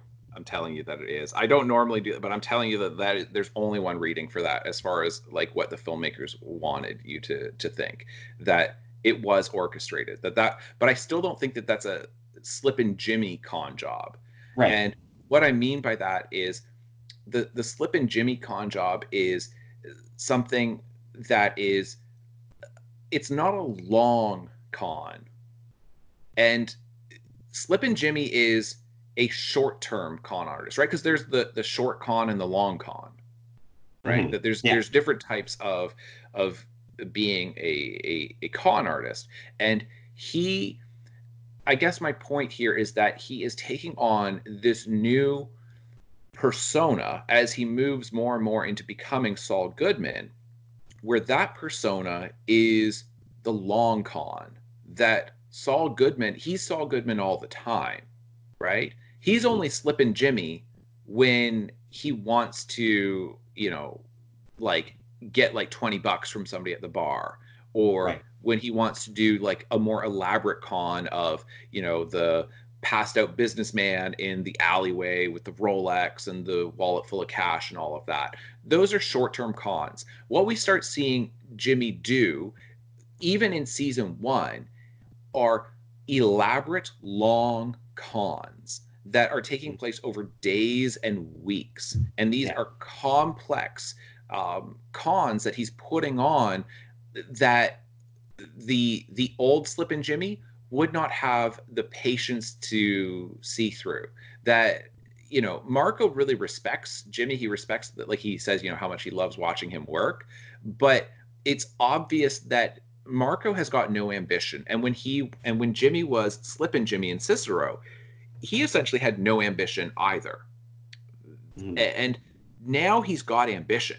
He doesn't right. want to make 20 bucks or 50 bucks or, you know, 500 or 600 dollars.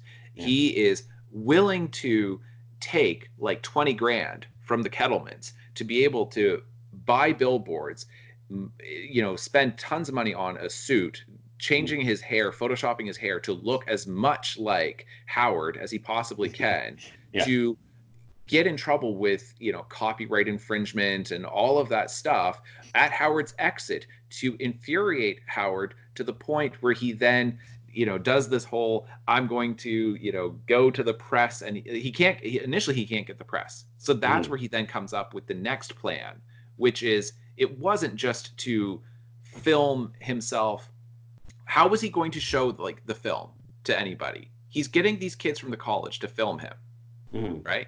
Yeah. How? Where was he going to show that? That well, I would assume that he would uh, like send it to the media.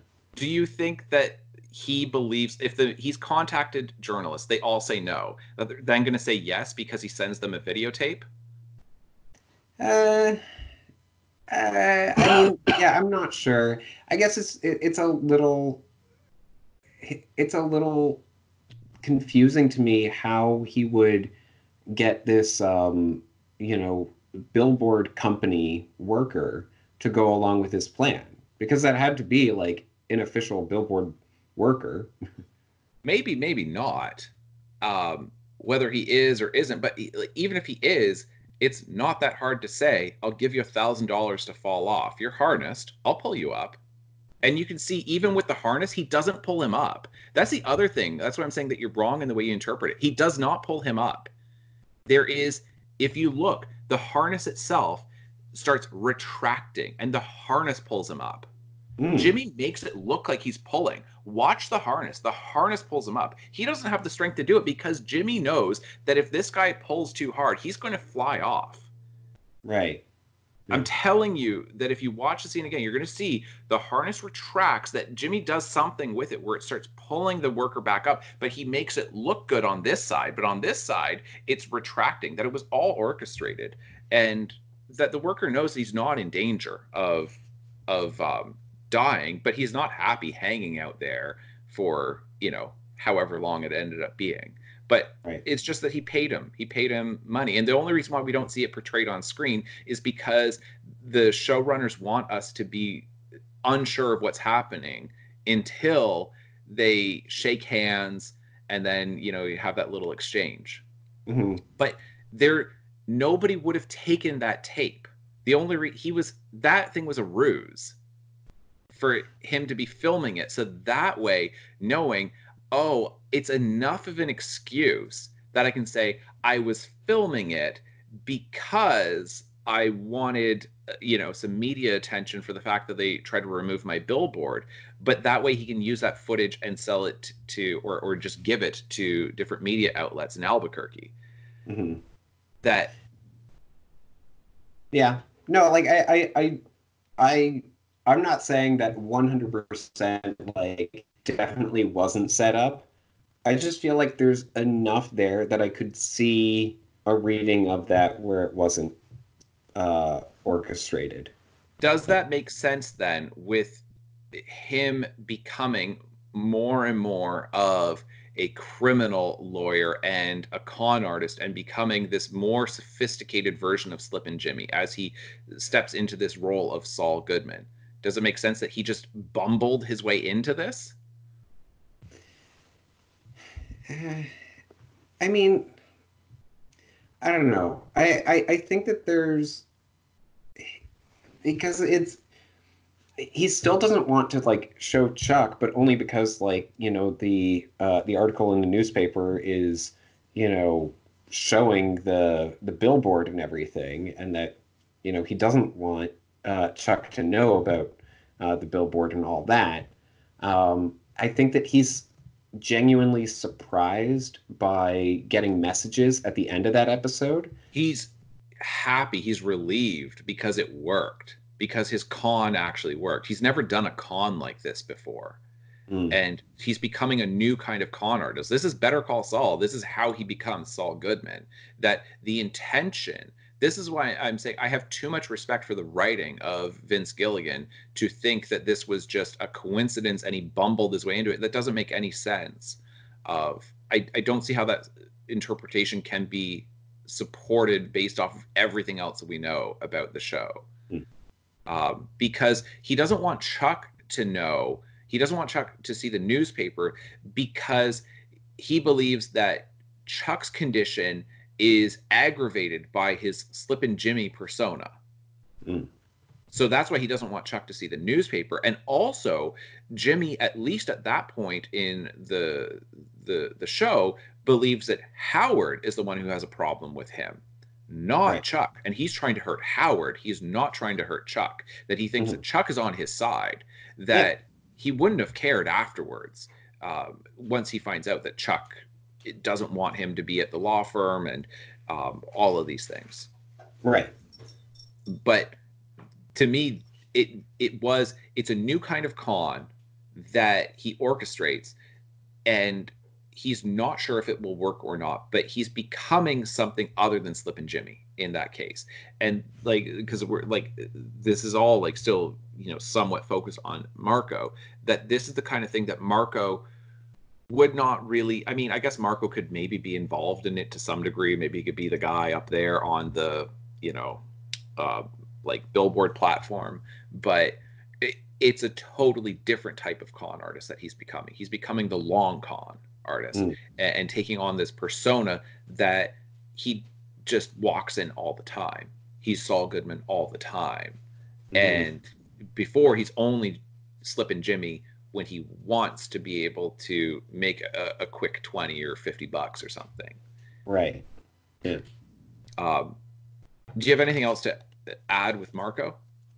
Uh, man, it is, um, uh, it's shocking to see, you know, Marco die, uh, in that episode. Mm. Um, and to just be like, man, you know, like it's, because like Marco had, he did get uh, a real job and you know all of that. Yeah. But he still wasn't happy with it, and it still like it didn't fulfill him in any way.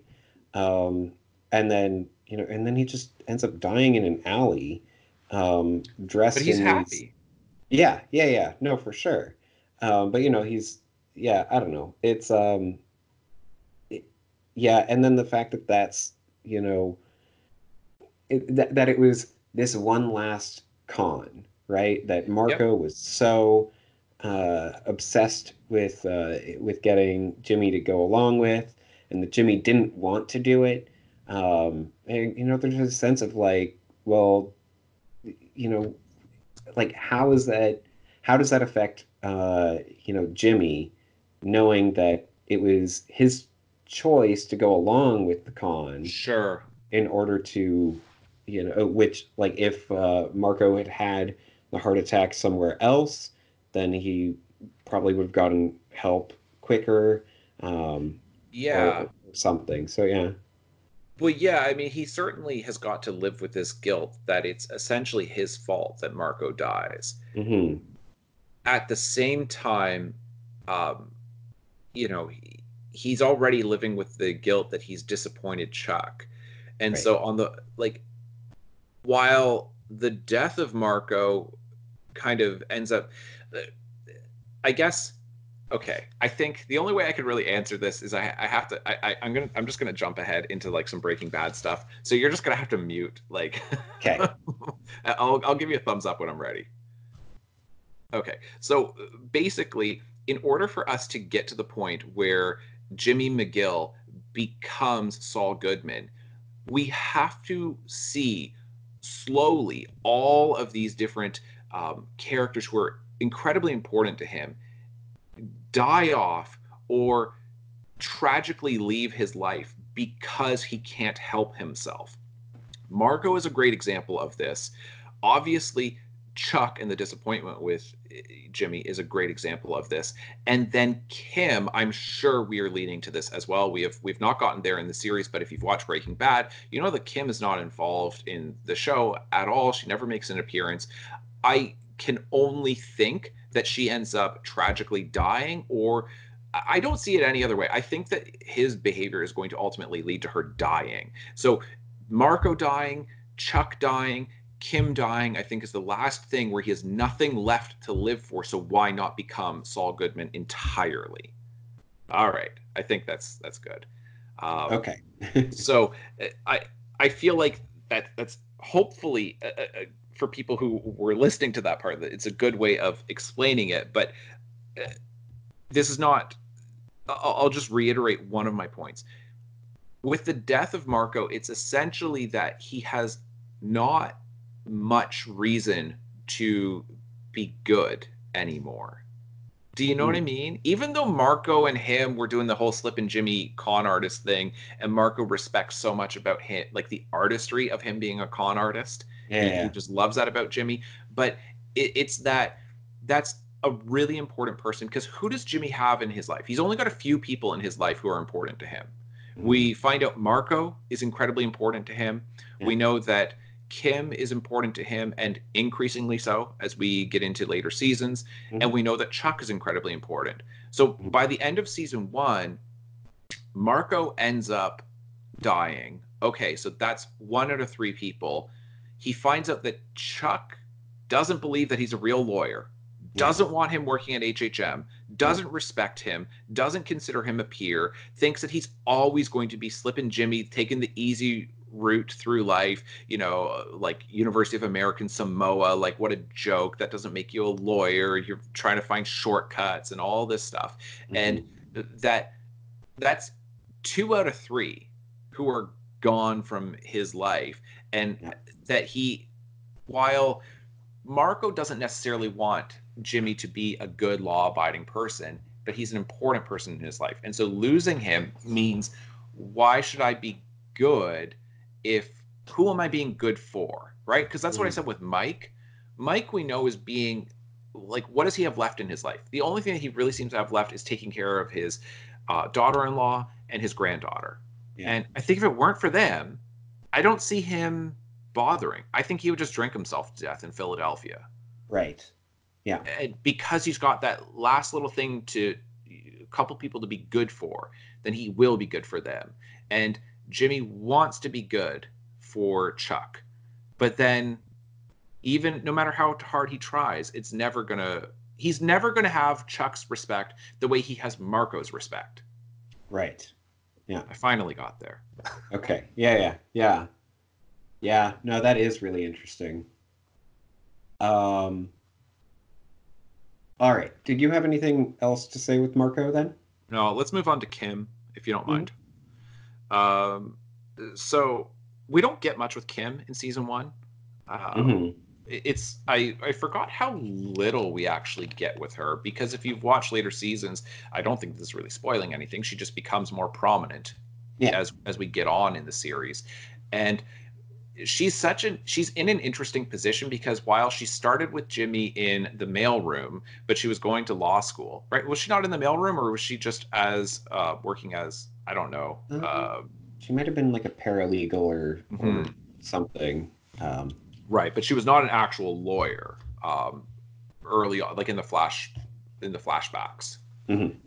Yeah. Um, that anyway. So he has this good relationship with her, and they're kind of on the outside looking in and admiring um, the partners in the law firm and the full-fledged attorneys and all of that. And Jimmy, of course, because he he respects his brother so much, and Kim just respects the law and successful attorneys and all of that.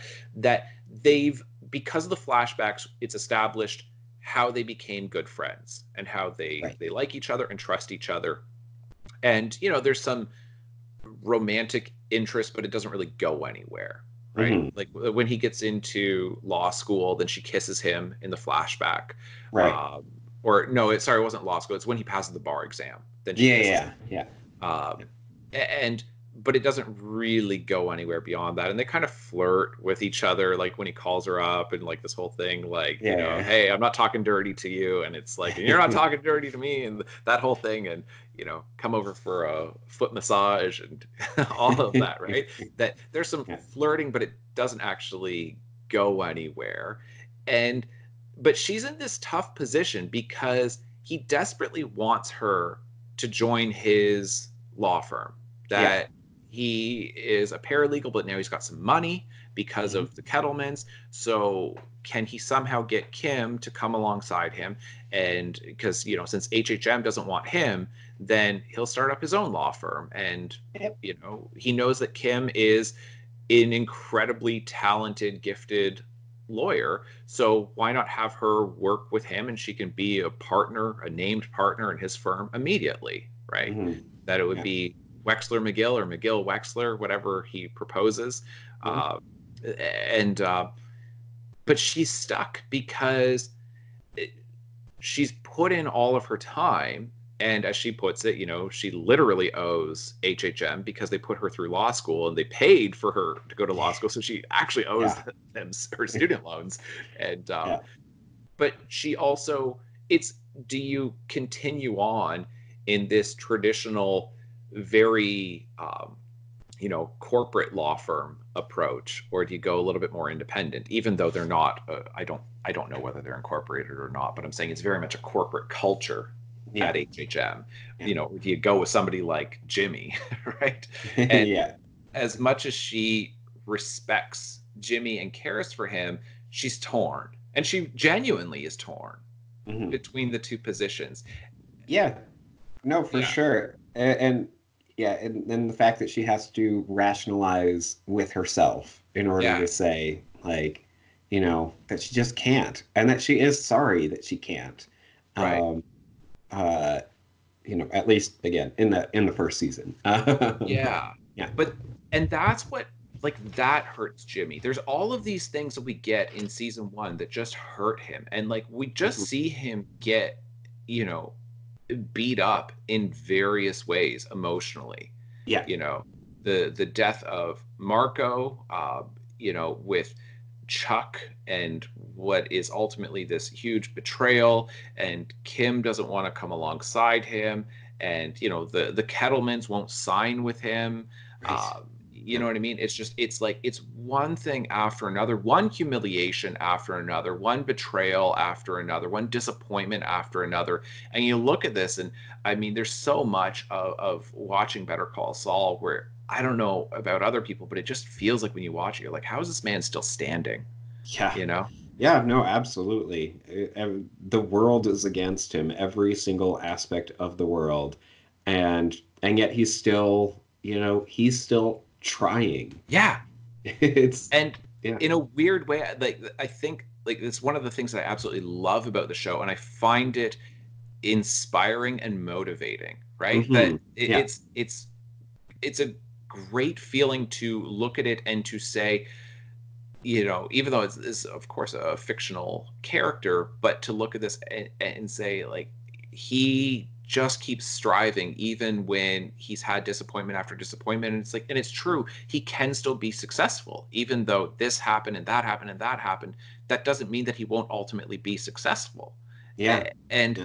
that despite the fact that he ha- would have every justification imaginable to play the victim and then to just say well forget it. Like i i won't be a, a lawyer anymore um, he he doesn't give up on his ambitions and it's just he has to keep reinventing himself and ultimately going the traditional way the establishment way he rejects this because the establishment won't have him Right. Yeah.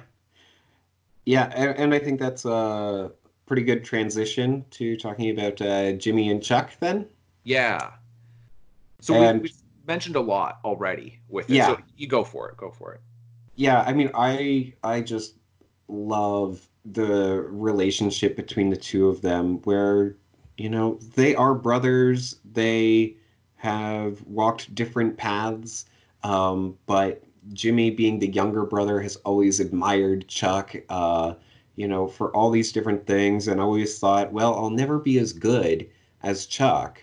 Right So that's what leads him down, you know, the the the bad path that he went on. And then when he gets his second chance, and he's like, okay, if I really, really buckle down, maybe, maybe I can actually get to, uh, you know, not to Chuck's level, but at least be uh, respected by Yeah. Chuck.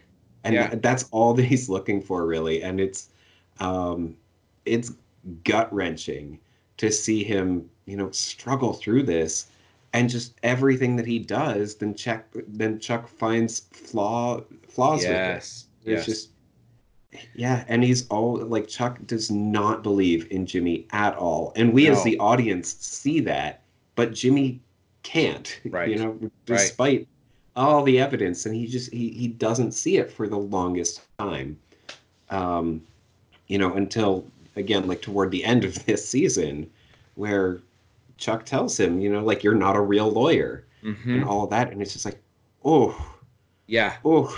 yeah I thought Um, about starting the podcast with that, just me sh- screaming, at, "You're not a real podcaster," because it's such a great line from Yeah. the show. Like, it's I don't know how it's so simple, but it cuts so deep after all of that for Mhm. Chuck to just be so blunt. Like, it just shows that you can tear somebody apart without cursing Right. to just say you're not a real lawyer is i think Yeah. the most hurtful thing chuck possibly could have said to jimmy Yeah.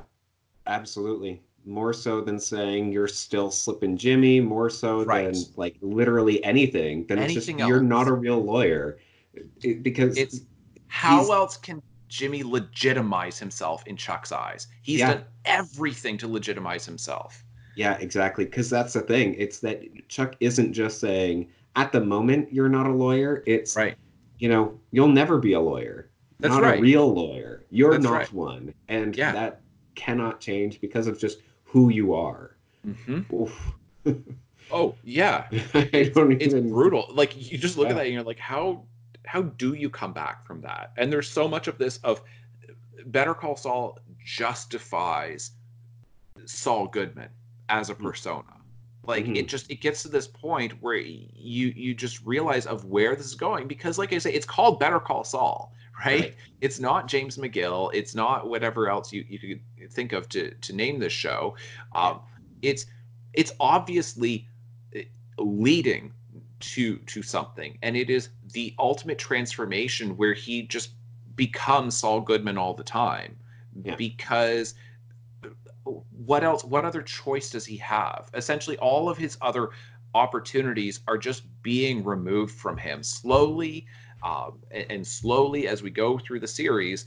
it just becomes a funneling effect right that Right. it's just it's all leading him into becoming this you know criminal lawyer persona who's just this you know like you see it in uh, it's it's really well done i didn't I don't know how much I caught it the first time I watched it. Maybe I did, maybe I didn't. But when he is trying to get match his suit to Howard's, where he mm-hmm. wants to get the exact suit, and I love that scene where he goes into the um, the tailor, and then he's got his like list of all these things. You know what I mean? Like yeah. I, I, need like a knit tie. like yeah. I, I didn't even know how you described like what type of tie that was that Howard is always wearing because the ties look so different, right? Because it's not silk, it's not yeah. whatever else. And it's like oh, it's knit. like it just it's like how douchey. I mean, it kind of looks cool to be honest, but like there's just a certain amount of like you know, how much do you need to rub it in people's faces that you are this high priced lawyer? That you mm-hmm. like a silk tie, you're too good for a silk tie. You have to right. wear this knit tie, right? And I was like, it's not that it doesn't look good or, or cool in some ways. It's just like, wow, you're really setting yourself apart from people. Yeah. Um, and as far as costume design, like that's so well done on the show. mm. Getting him to to have that. So anyway, Jimmy goes and he is looking he, he wants to imitate that exactly for the billboard to be able to essentially plagiarize them as much as he mm-hmm. can but then the tailor goes back to try to find some of the fabric and um, then he's looking and he's looking at these garish colors yeah. shirts. And we know that's ultimately how his sartorial style like his sartorial choices that he's going to make. He's going to start wearing really garish suits with like orange you know yeah. dress shirts and like purple and like green ties and whatever else. Like he's going to be you know this buffoonish like look at me type of lawyer.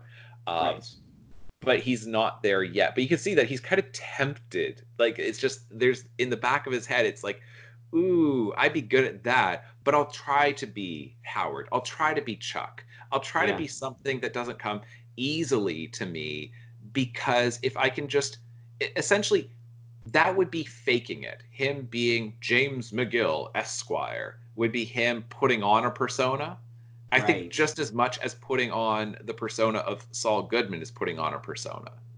Yeah. Yeah, yeah. No, for sure. It's um uh man, yeah, the the costume design in in the show is incredible. I mean like the way that um all of Jimmy's suits at least at the beginning his one suit, I guess, um then it's it's clearly the wrong size for him, you yeah. know, it's just it's ill-fitting and he's he doesn't fill out the clothing, right? right. But he's yeah, he's absolutely. not there yet. yeah, yeah, absolutely. yeah, he's not fully fleshed out. Um, even and, and just while we're on this, just with some of the costume design, but with like set design, the fact that he drives like that awful Suzuki Esteem, the, the yellow thing, like, and like, I wonder if you what you think of this, but do you think there's something to the fact that it's not just like this crappy old Suzuki that he's driving, but the fact that it's an Esteem because we they keep it on there. They keep the badge on there where it says Esteem, and it's just the fact that it's like it's not it's not high self-esteem it's not low self-esteem it's just like esteem. How do you esteem this person? How do you value them? How do you judge them right? Because to esteem right. somebody means to determine their worth and the fact that it's like essentially he's driving around saying give me worth give me worth because he wants people to give him worth like chuck like, yeah, value me as a real lawyer, esteem me like that. But then he drives this piece of crap. So it's like, how are people going to judge him? They're going to judge him as this like loser. Yeah.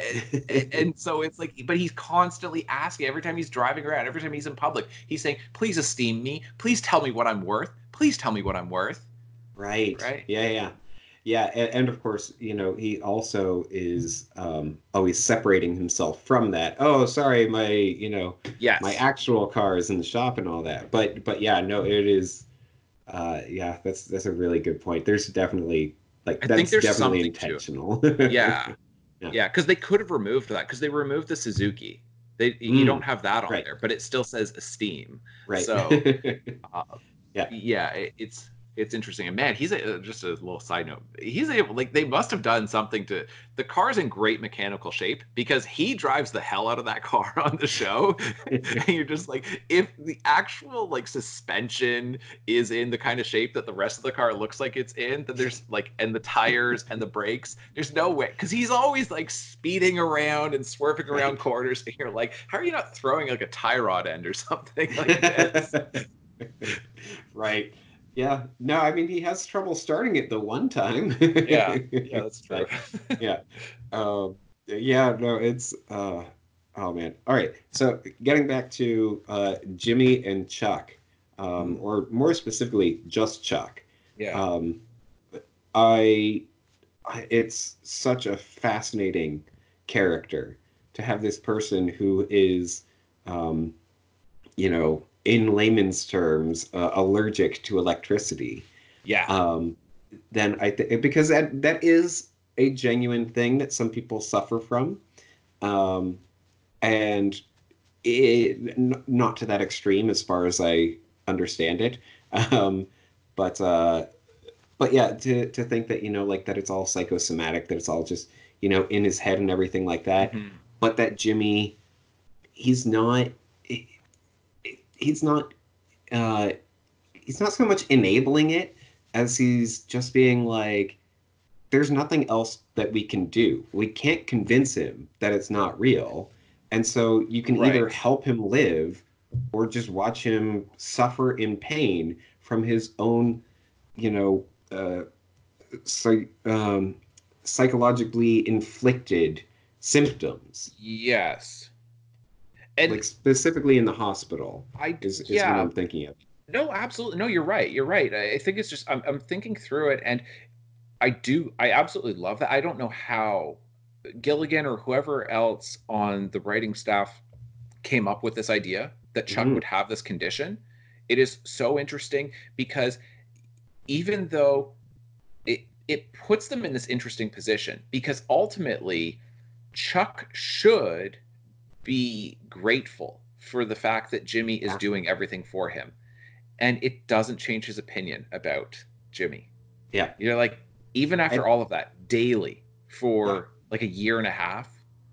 And um, even when uh, Howard sees the list of all the different things that yeah that Jimmy does, and he's like, "You do all of this every day." Like he's mm-hmm. impressed, but Chuck still is not. Like there's yeah, there's no sense of absolutely gratitude or or anything. It's yeah, and to I guess I just since you mentioned it, then I feel like we might as well address it. I just wanted to say that Howard is a misunderstood character for much of the the season, and even as seasons go on, he's often set up. I feel like he's a straw man, right? That mm, yeah, Jimmy's yeah. constantly trying to launch attacks against Howard, thinking that he is his enemy, and it's like Howard is not your enemy. You keep yeah. trying to hurt Howard, but Howard is not your enemy. Um, yeah. That because eh, Howard is impressed by Jimmy in like every way. Yeah. And you know, like calling him like Charlie Hustle, and he's so impressed that you know he went to law school by correspondence and all of these things that that Howard's got. He esteems Jimmy highly, and mm-hmm. Chuck doesn't, and, and that Chuck is such a piece of crap that he puts it on Howard. He convinces Jimmy intentionally at times that it's Howard, and then he forces Howard to say things that Howard doesn't mean in yeah. order to to deflect the anger that Jimmy would have at himself at Chuck to deflect it over to Howard. Like that's what I'm saying that you look at this and you go even though like Chuck is certainly not the moral center of the show right. that even though he's law abiding and he's got this admirable skill as a scholar of the law, he's pretty awful to Jimmy. And you could say he's got good reason for not believing in him, mm. but no matter what Jimmy does, it's not enough. And uh, anyway, so yeah, the condition that he has is interesting, but I don't know that we ever get an answer because we certainly don't get it in season one, and it's been a while since I've seen seasons two and three. If we get an answer about why the condition started in the first place. Yeah, I, I don't think that uh, we do get an explanation, but I if if I had to hazard a guess, I would say that it's uh, shortly after uh, Jimmy uh, you know, shows Chuck that he passed the bar. I think so too. Yeah. I think that's got to be that was the is. inciting incident. Right. Um. Yeah. I, I'm pretty sure. Like, I I don't see how else you can read it because it's obvious that it is triggered by Slippin' Jimmy right? Mm-hmm. And as Chuck says, I think it's in the last episode that he says to to Jimmy that you know Slippin' Jimmy with a law degree is like a, a monkey with a machine gun or something like that. I forget the I forget the exact line, but it's something along those lines of that's why he's so horrified to the point where it's like he literally can't go out into the world anymore. He can't be connected in any way. He's disconnected. He's disconnected the electricity from his house, the actual like lines that come into his house, everything comes into his house. He has disconnected himself as much as possible while still living in a city because it's like he can't be part of a civilization in which Jimmy can have a law degree. Right? Yeah. like yeah. that's messed up that Absolutely. he is that concerned with his brother. And I guess my attitude would be uh, to to Chuck. I I, I have far more of like a Mike attitude than probably anybody else on the show of just like you know like you think he's the first criminal lawyer. Like, you know what I mean? I'm just like, how is he that dangerous? You think every lawyer except for Jimmy perfectly follows the law and right. doesn't do things that are dubious in nature and like like I mean like haven't you ever heard a lawyer joke ever? like right. do you know what I mean? Like why is it that Jimmy scares you so much with him having a law degree? There's plenty of lawyers who I'm sure you know are are far have got ethics that are far more dubious than anything that you know a Slippin' Jimmy character might have right yeah and it's definitely because of the you know family connection yeah that you know um it, it that's the really fascinating thing is that Jimmy sees them as like well we're brothers of course right. we have to look out for each other we have right. to love each other and all that and Chuck sees it as well, we're brothers, and yet look what happened to you, and you know, and and all of this. Like he's just like you're not as good as me. You never will be, and mm-hmm. that it's just you know you can't take shortcuts. I worked so hard, and you're just you know yeah doing all these uh, dubious things in order to get by, in order to try to reach my level, and it's it's yeah it's this irritation with the imitation that uh, yeah. you know that Chuck is like you're you only became a lawyer because I'm a lawyer. Yeah, and I think and, that's part of it is that Chuck is kind of mad at himself, and that's why he's punishing himself in this way, mm, right? Yeah, because yeah. it's psychosomatically he is punishing his own body for the fact that his brother now has a law degree and he's like if it wasn't for the fact that i'm a lawyer and such a skilled lawyer he never would have become a lawyer and so this is partially my responsibility. And how the hell can I get him to get off of this path? Right. Yeah. Yeah. And, yeah. he just seems helpless in getting him off of the, the, the path of being a lawyer. And um, yeah. Yeah. I, I, don't I, I don't know what else like where else to go with it other than it, it's just it's a incredibly um, destructive dynamic that they have between the two of them. Mm-hmm. And it is, I don't even know how much of it you can blame on Jimmy. Right. You know? Yeah. Yeah. No, for sure. it, it is, um, I don't know. I mean, I, I throw so much of the blame on Chuck for, yeah, you know, everything. Cause it's just, it, it, Chuck, he, Chuck is so prideful Yes. That, you know, he just refuses to admit that Jimmy could be better than him at literally anything. Right. You know, it's like, you know, even focusing on elder law. And he's right. like, well, anybody could do that. And it's like, yeah, but you would probably struggle with it because you don't know how to interact with, you know, the elderly and all of this. And yeah, it's just absolutely yeah, yeah. yeah. No, you're absolutely right because Chuck is just nothing but you know puffed up. He is so full of pride. Yeah. Uh, that that is exactly it. That he can't handle the idea that Jimmy might actually be good at some stuff and better than him in, in certain ways. And it, it is in um, I, I can't remember. Is it in this season where they go to the karaoke bar um, after Jimmy gets his law degree, like when he passes the bar? Yeah, no, I don't. I, I don't remember uh, that. Okay, because I just watched season four, so I'm going. Wait, maybe I'm getting mixed up. That, that's the problem. I watched season four, then we rewatched season one. So right. anyway, it it, it um, I guess. It, whatever it's it's it's not anything it's just they they ultimately they go to a karaoke bar and you know jimmy's like trying to encourage chuck to sing and mm. jimmy's terrible at singing karaoke and then ultimately chuck goes up and like is so reluctant. No, no, no, I couldn't. I couldn't possibly. I couldn't possibly. And then he's incredibly good. He's an amazing singer. And then Jimmy just kind of like wanders off and it's supposed to be a duet. And then it just turns into a solo for Chuck. And I'm just like, that's perfect. That's exactly them. It's like Jimmy's right. like, even that in a social setting that he still shows me up when I was trying to like pull him out of his shell. He's good at that too. That yeah. that's kind of the dynamic they've had their entire life. But Chuck just can't give Jimmy credit for anything, and the the way it is hurting his own body that the the way it shows up in the show i don't know how you come up with that idea. Yeah honestly it is it's so brilliant and it's so out there. Yeah. Yeah. Um, yeah. all right we we should uh, wrap this up uh, soon but um, uh, yeah, I, I, I guess just uh, do, do, I guess do you have any final thoughts? Um, not especially. Um, I I feel like anything that I have, uh, like I I'll just I just want to save until we move on to season two. Agreed. Yeah. Um, and uh, one thing that I wanted to say is, uh, you know, as much as I said at the beginning that I definitely relate with Jimmy, that is in terms of like you know I've always looked at you like especially because you know our dad wasn't around when when uh, when we were growing up specifically when I was growing up.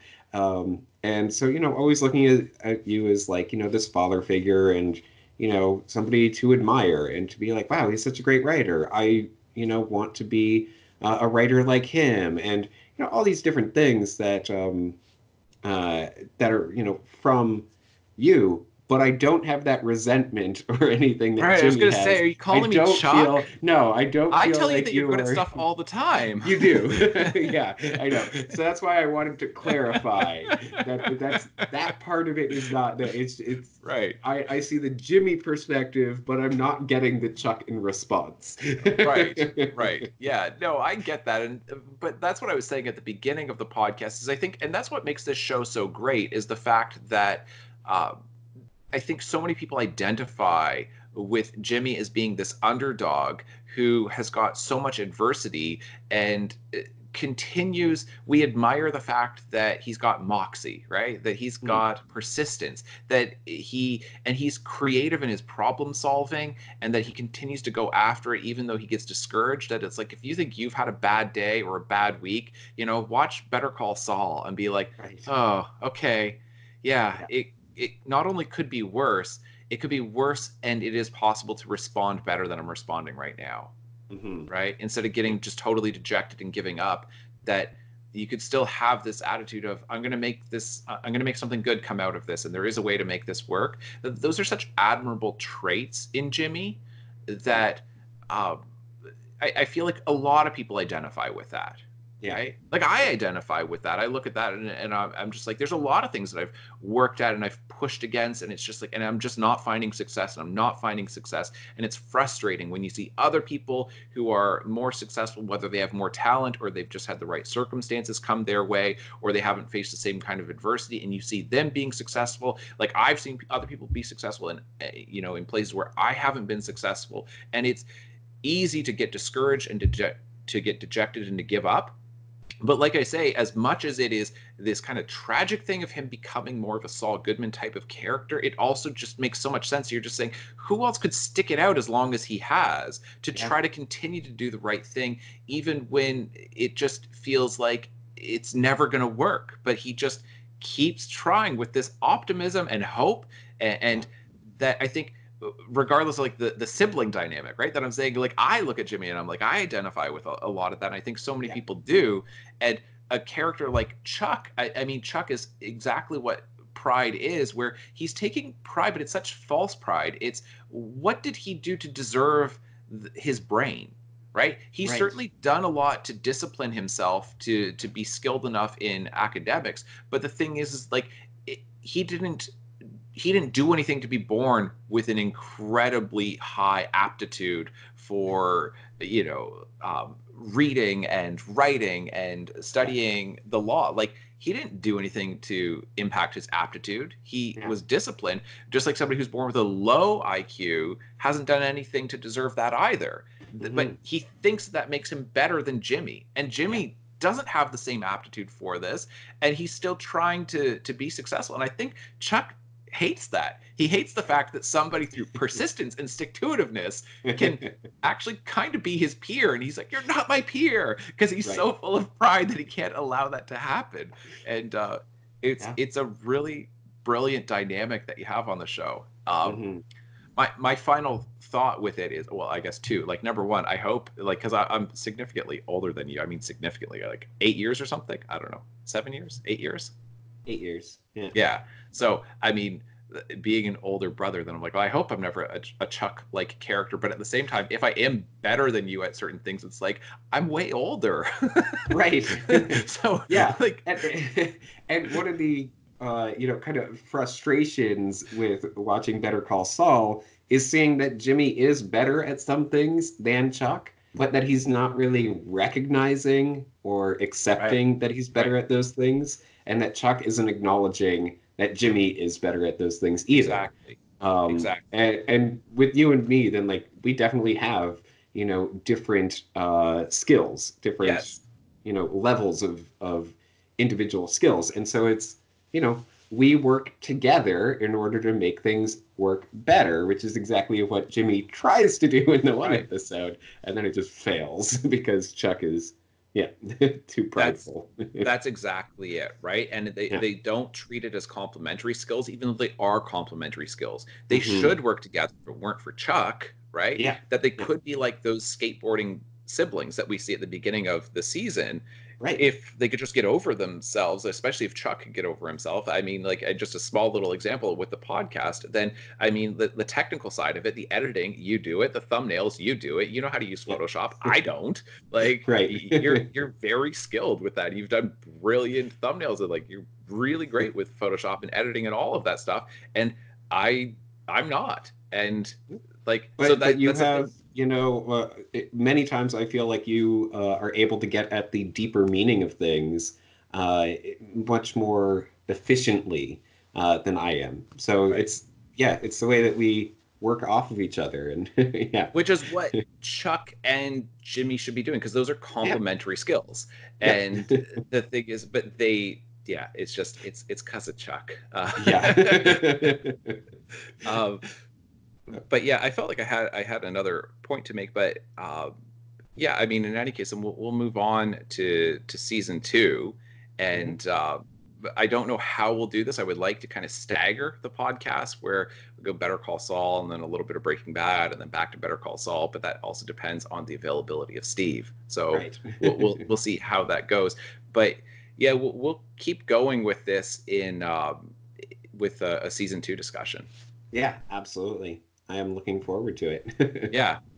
Um, all right, folks, please let us know what you think below, and thank you so much for watching. We'll see you next time. Bye. bye Ignore the bell, people. We're gonna keep going. We're still ignoring it.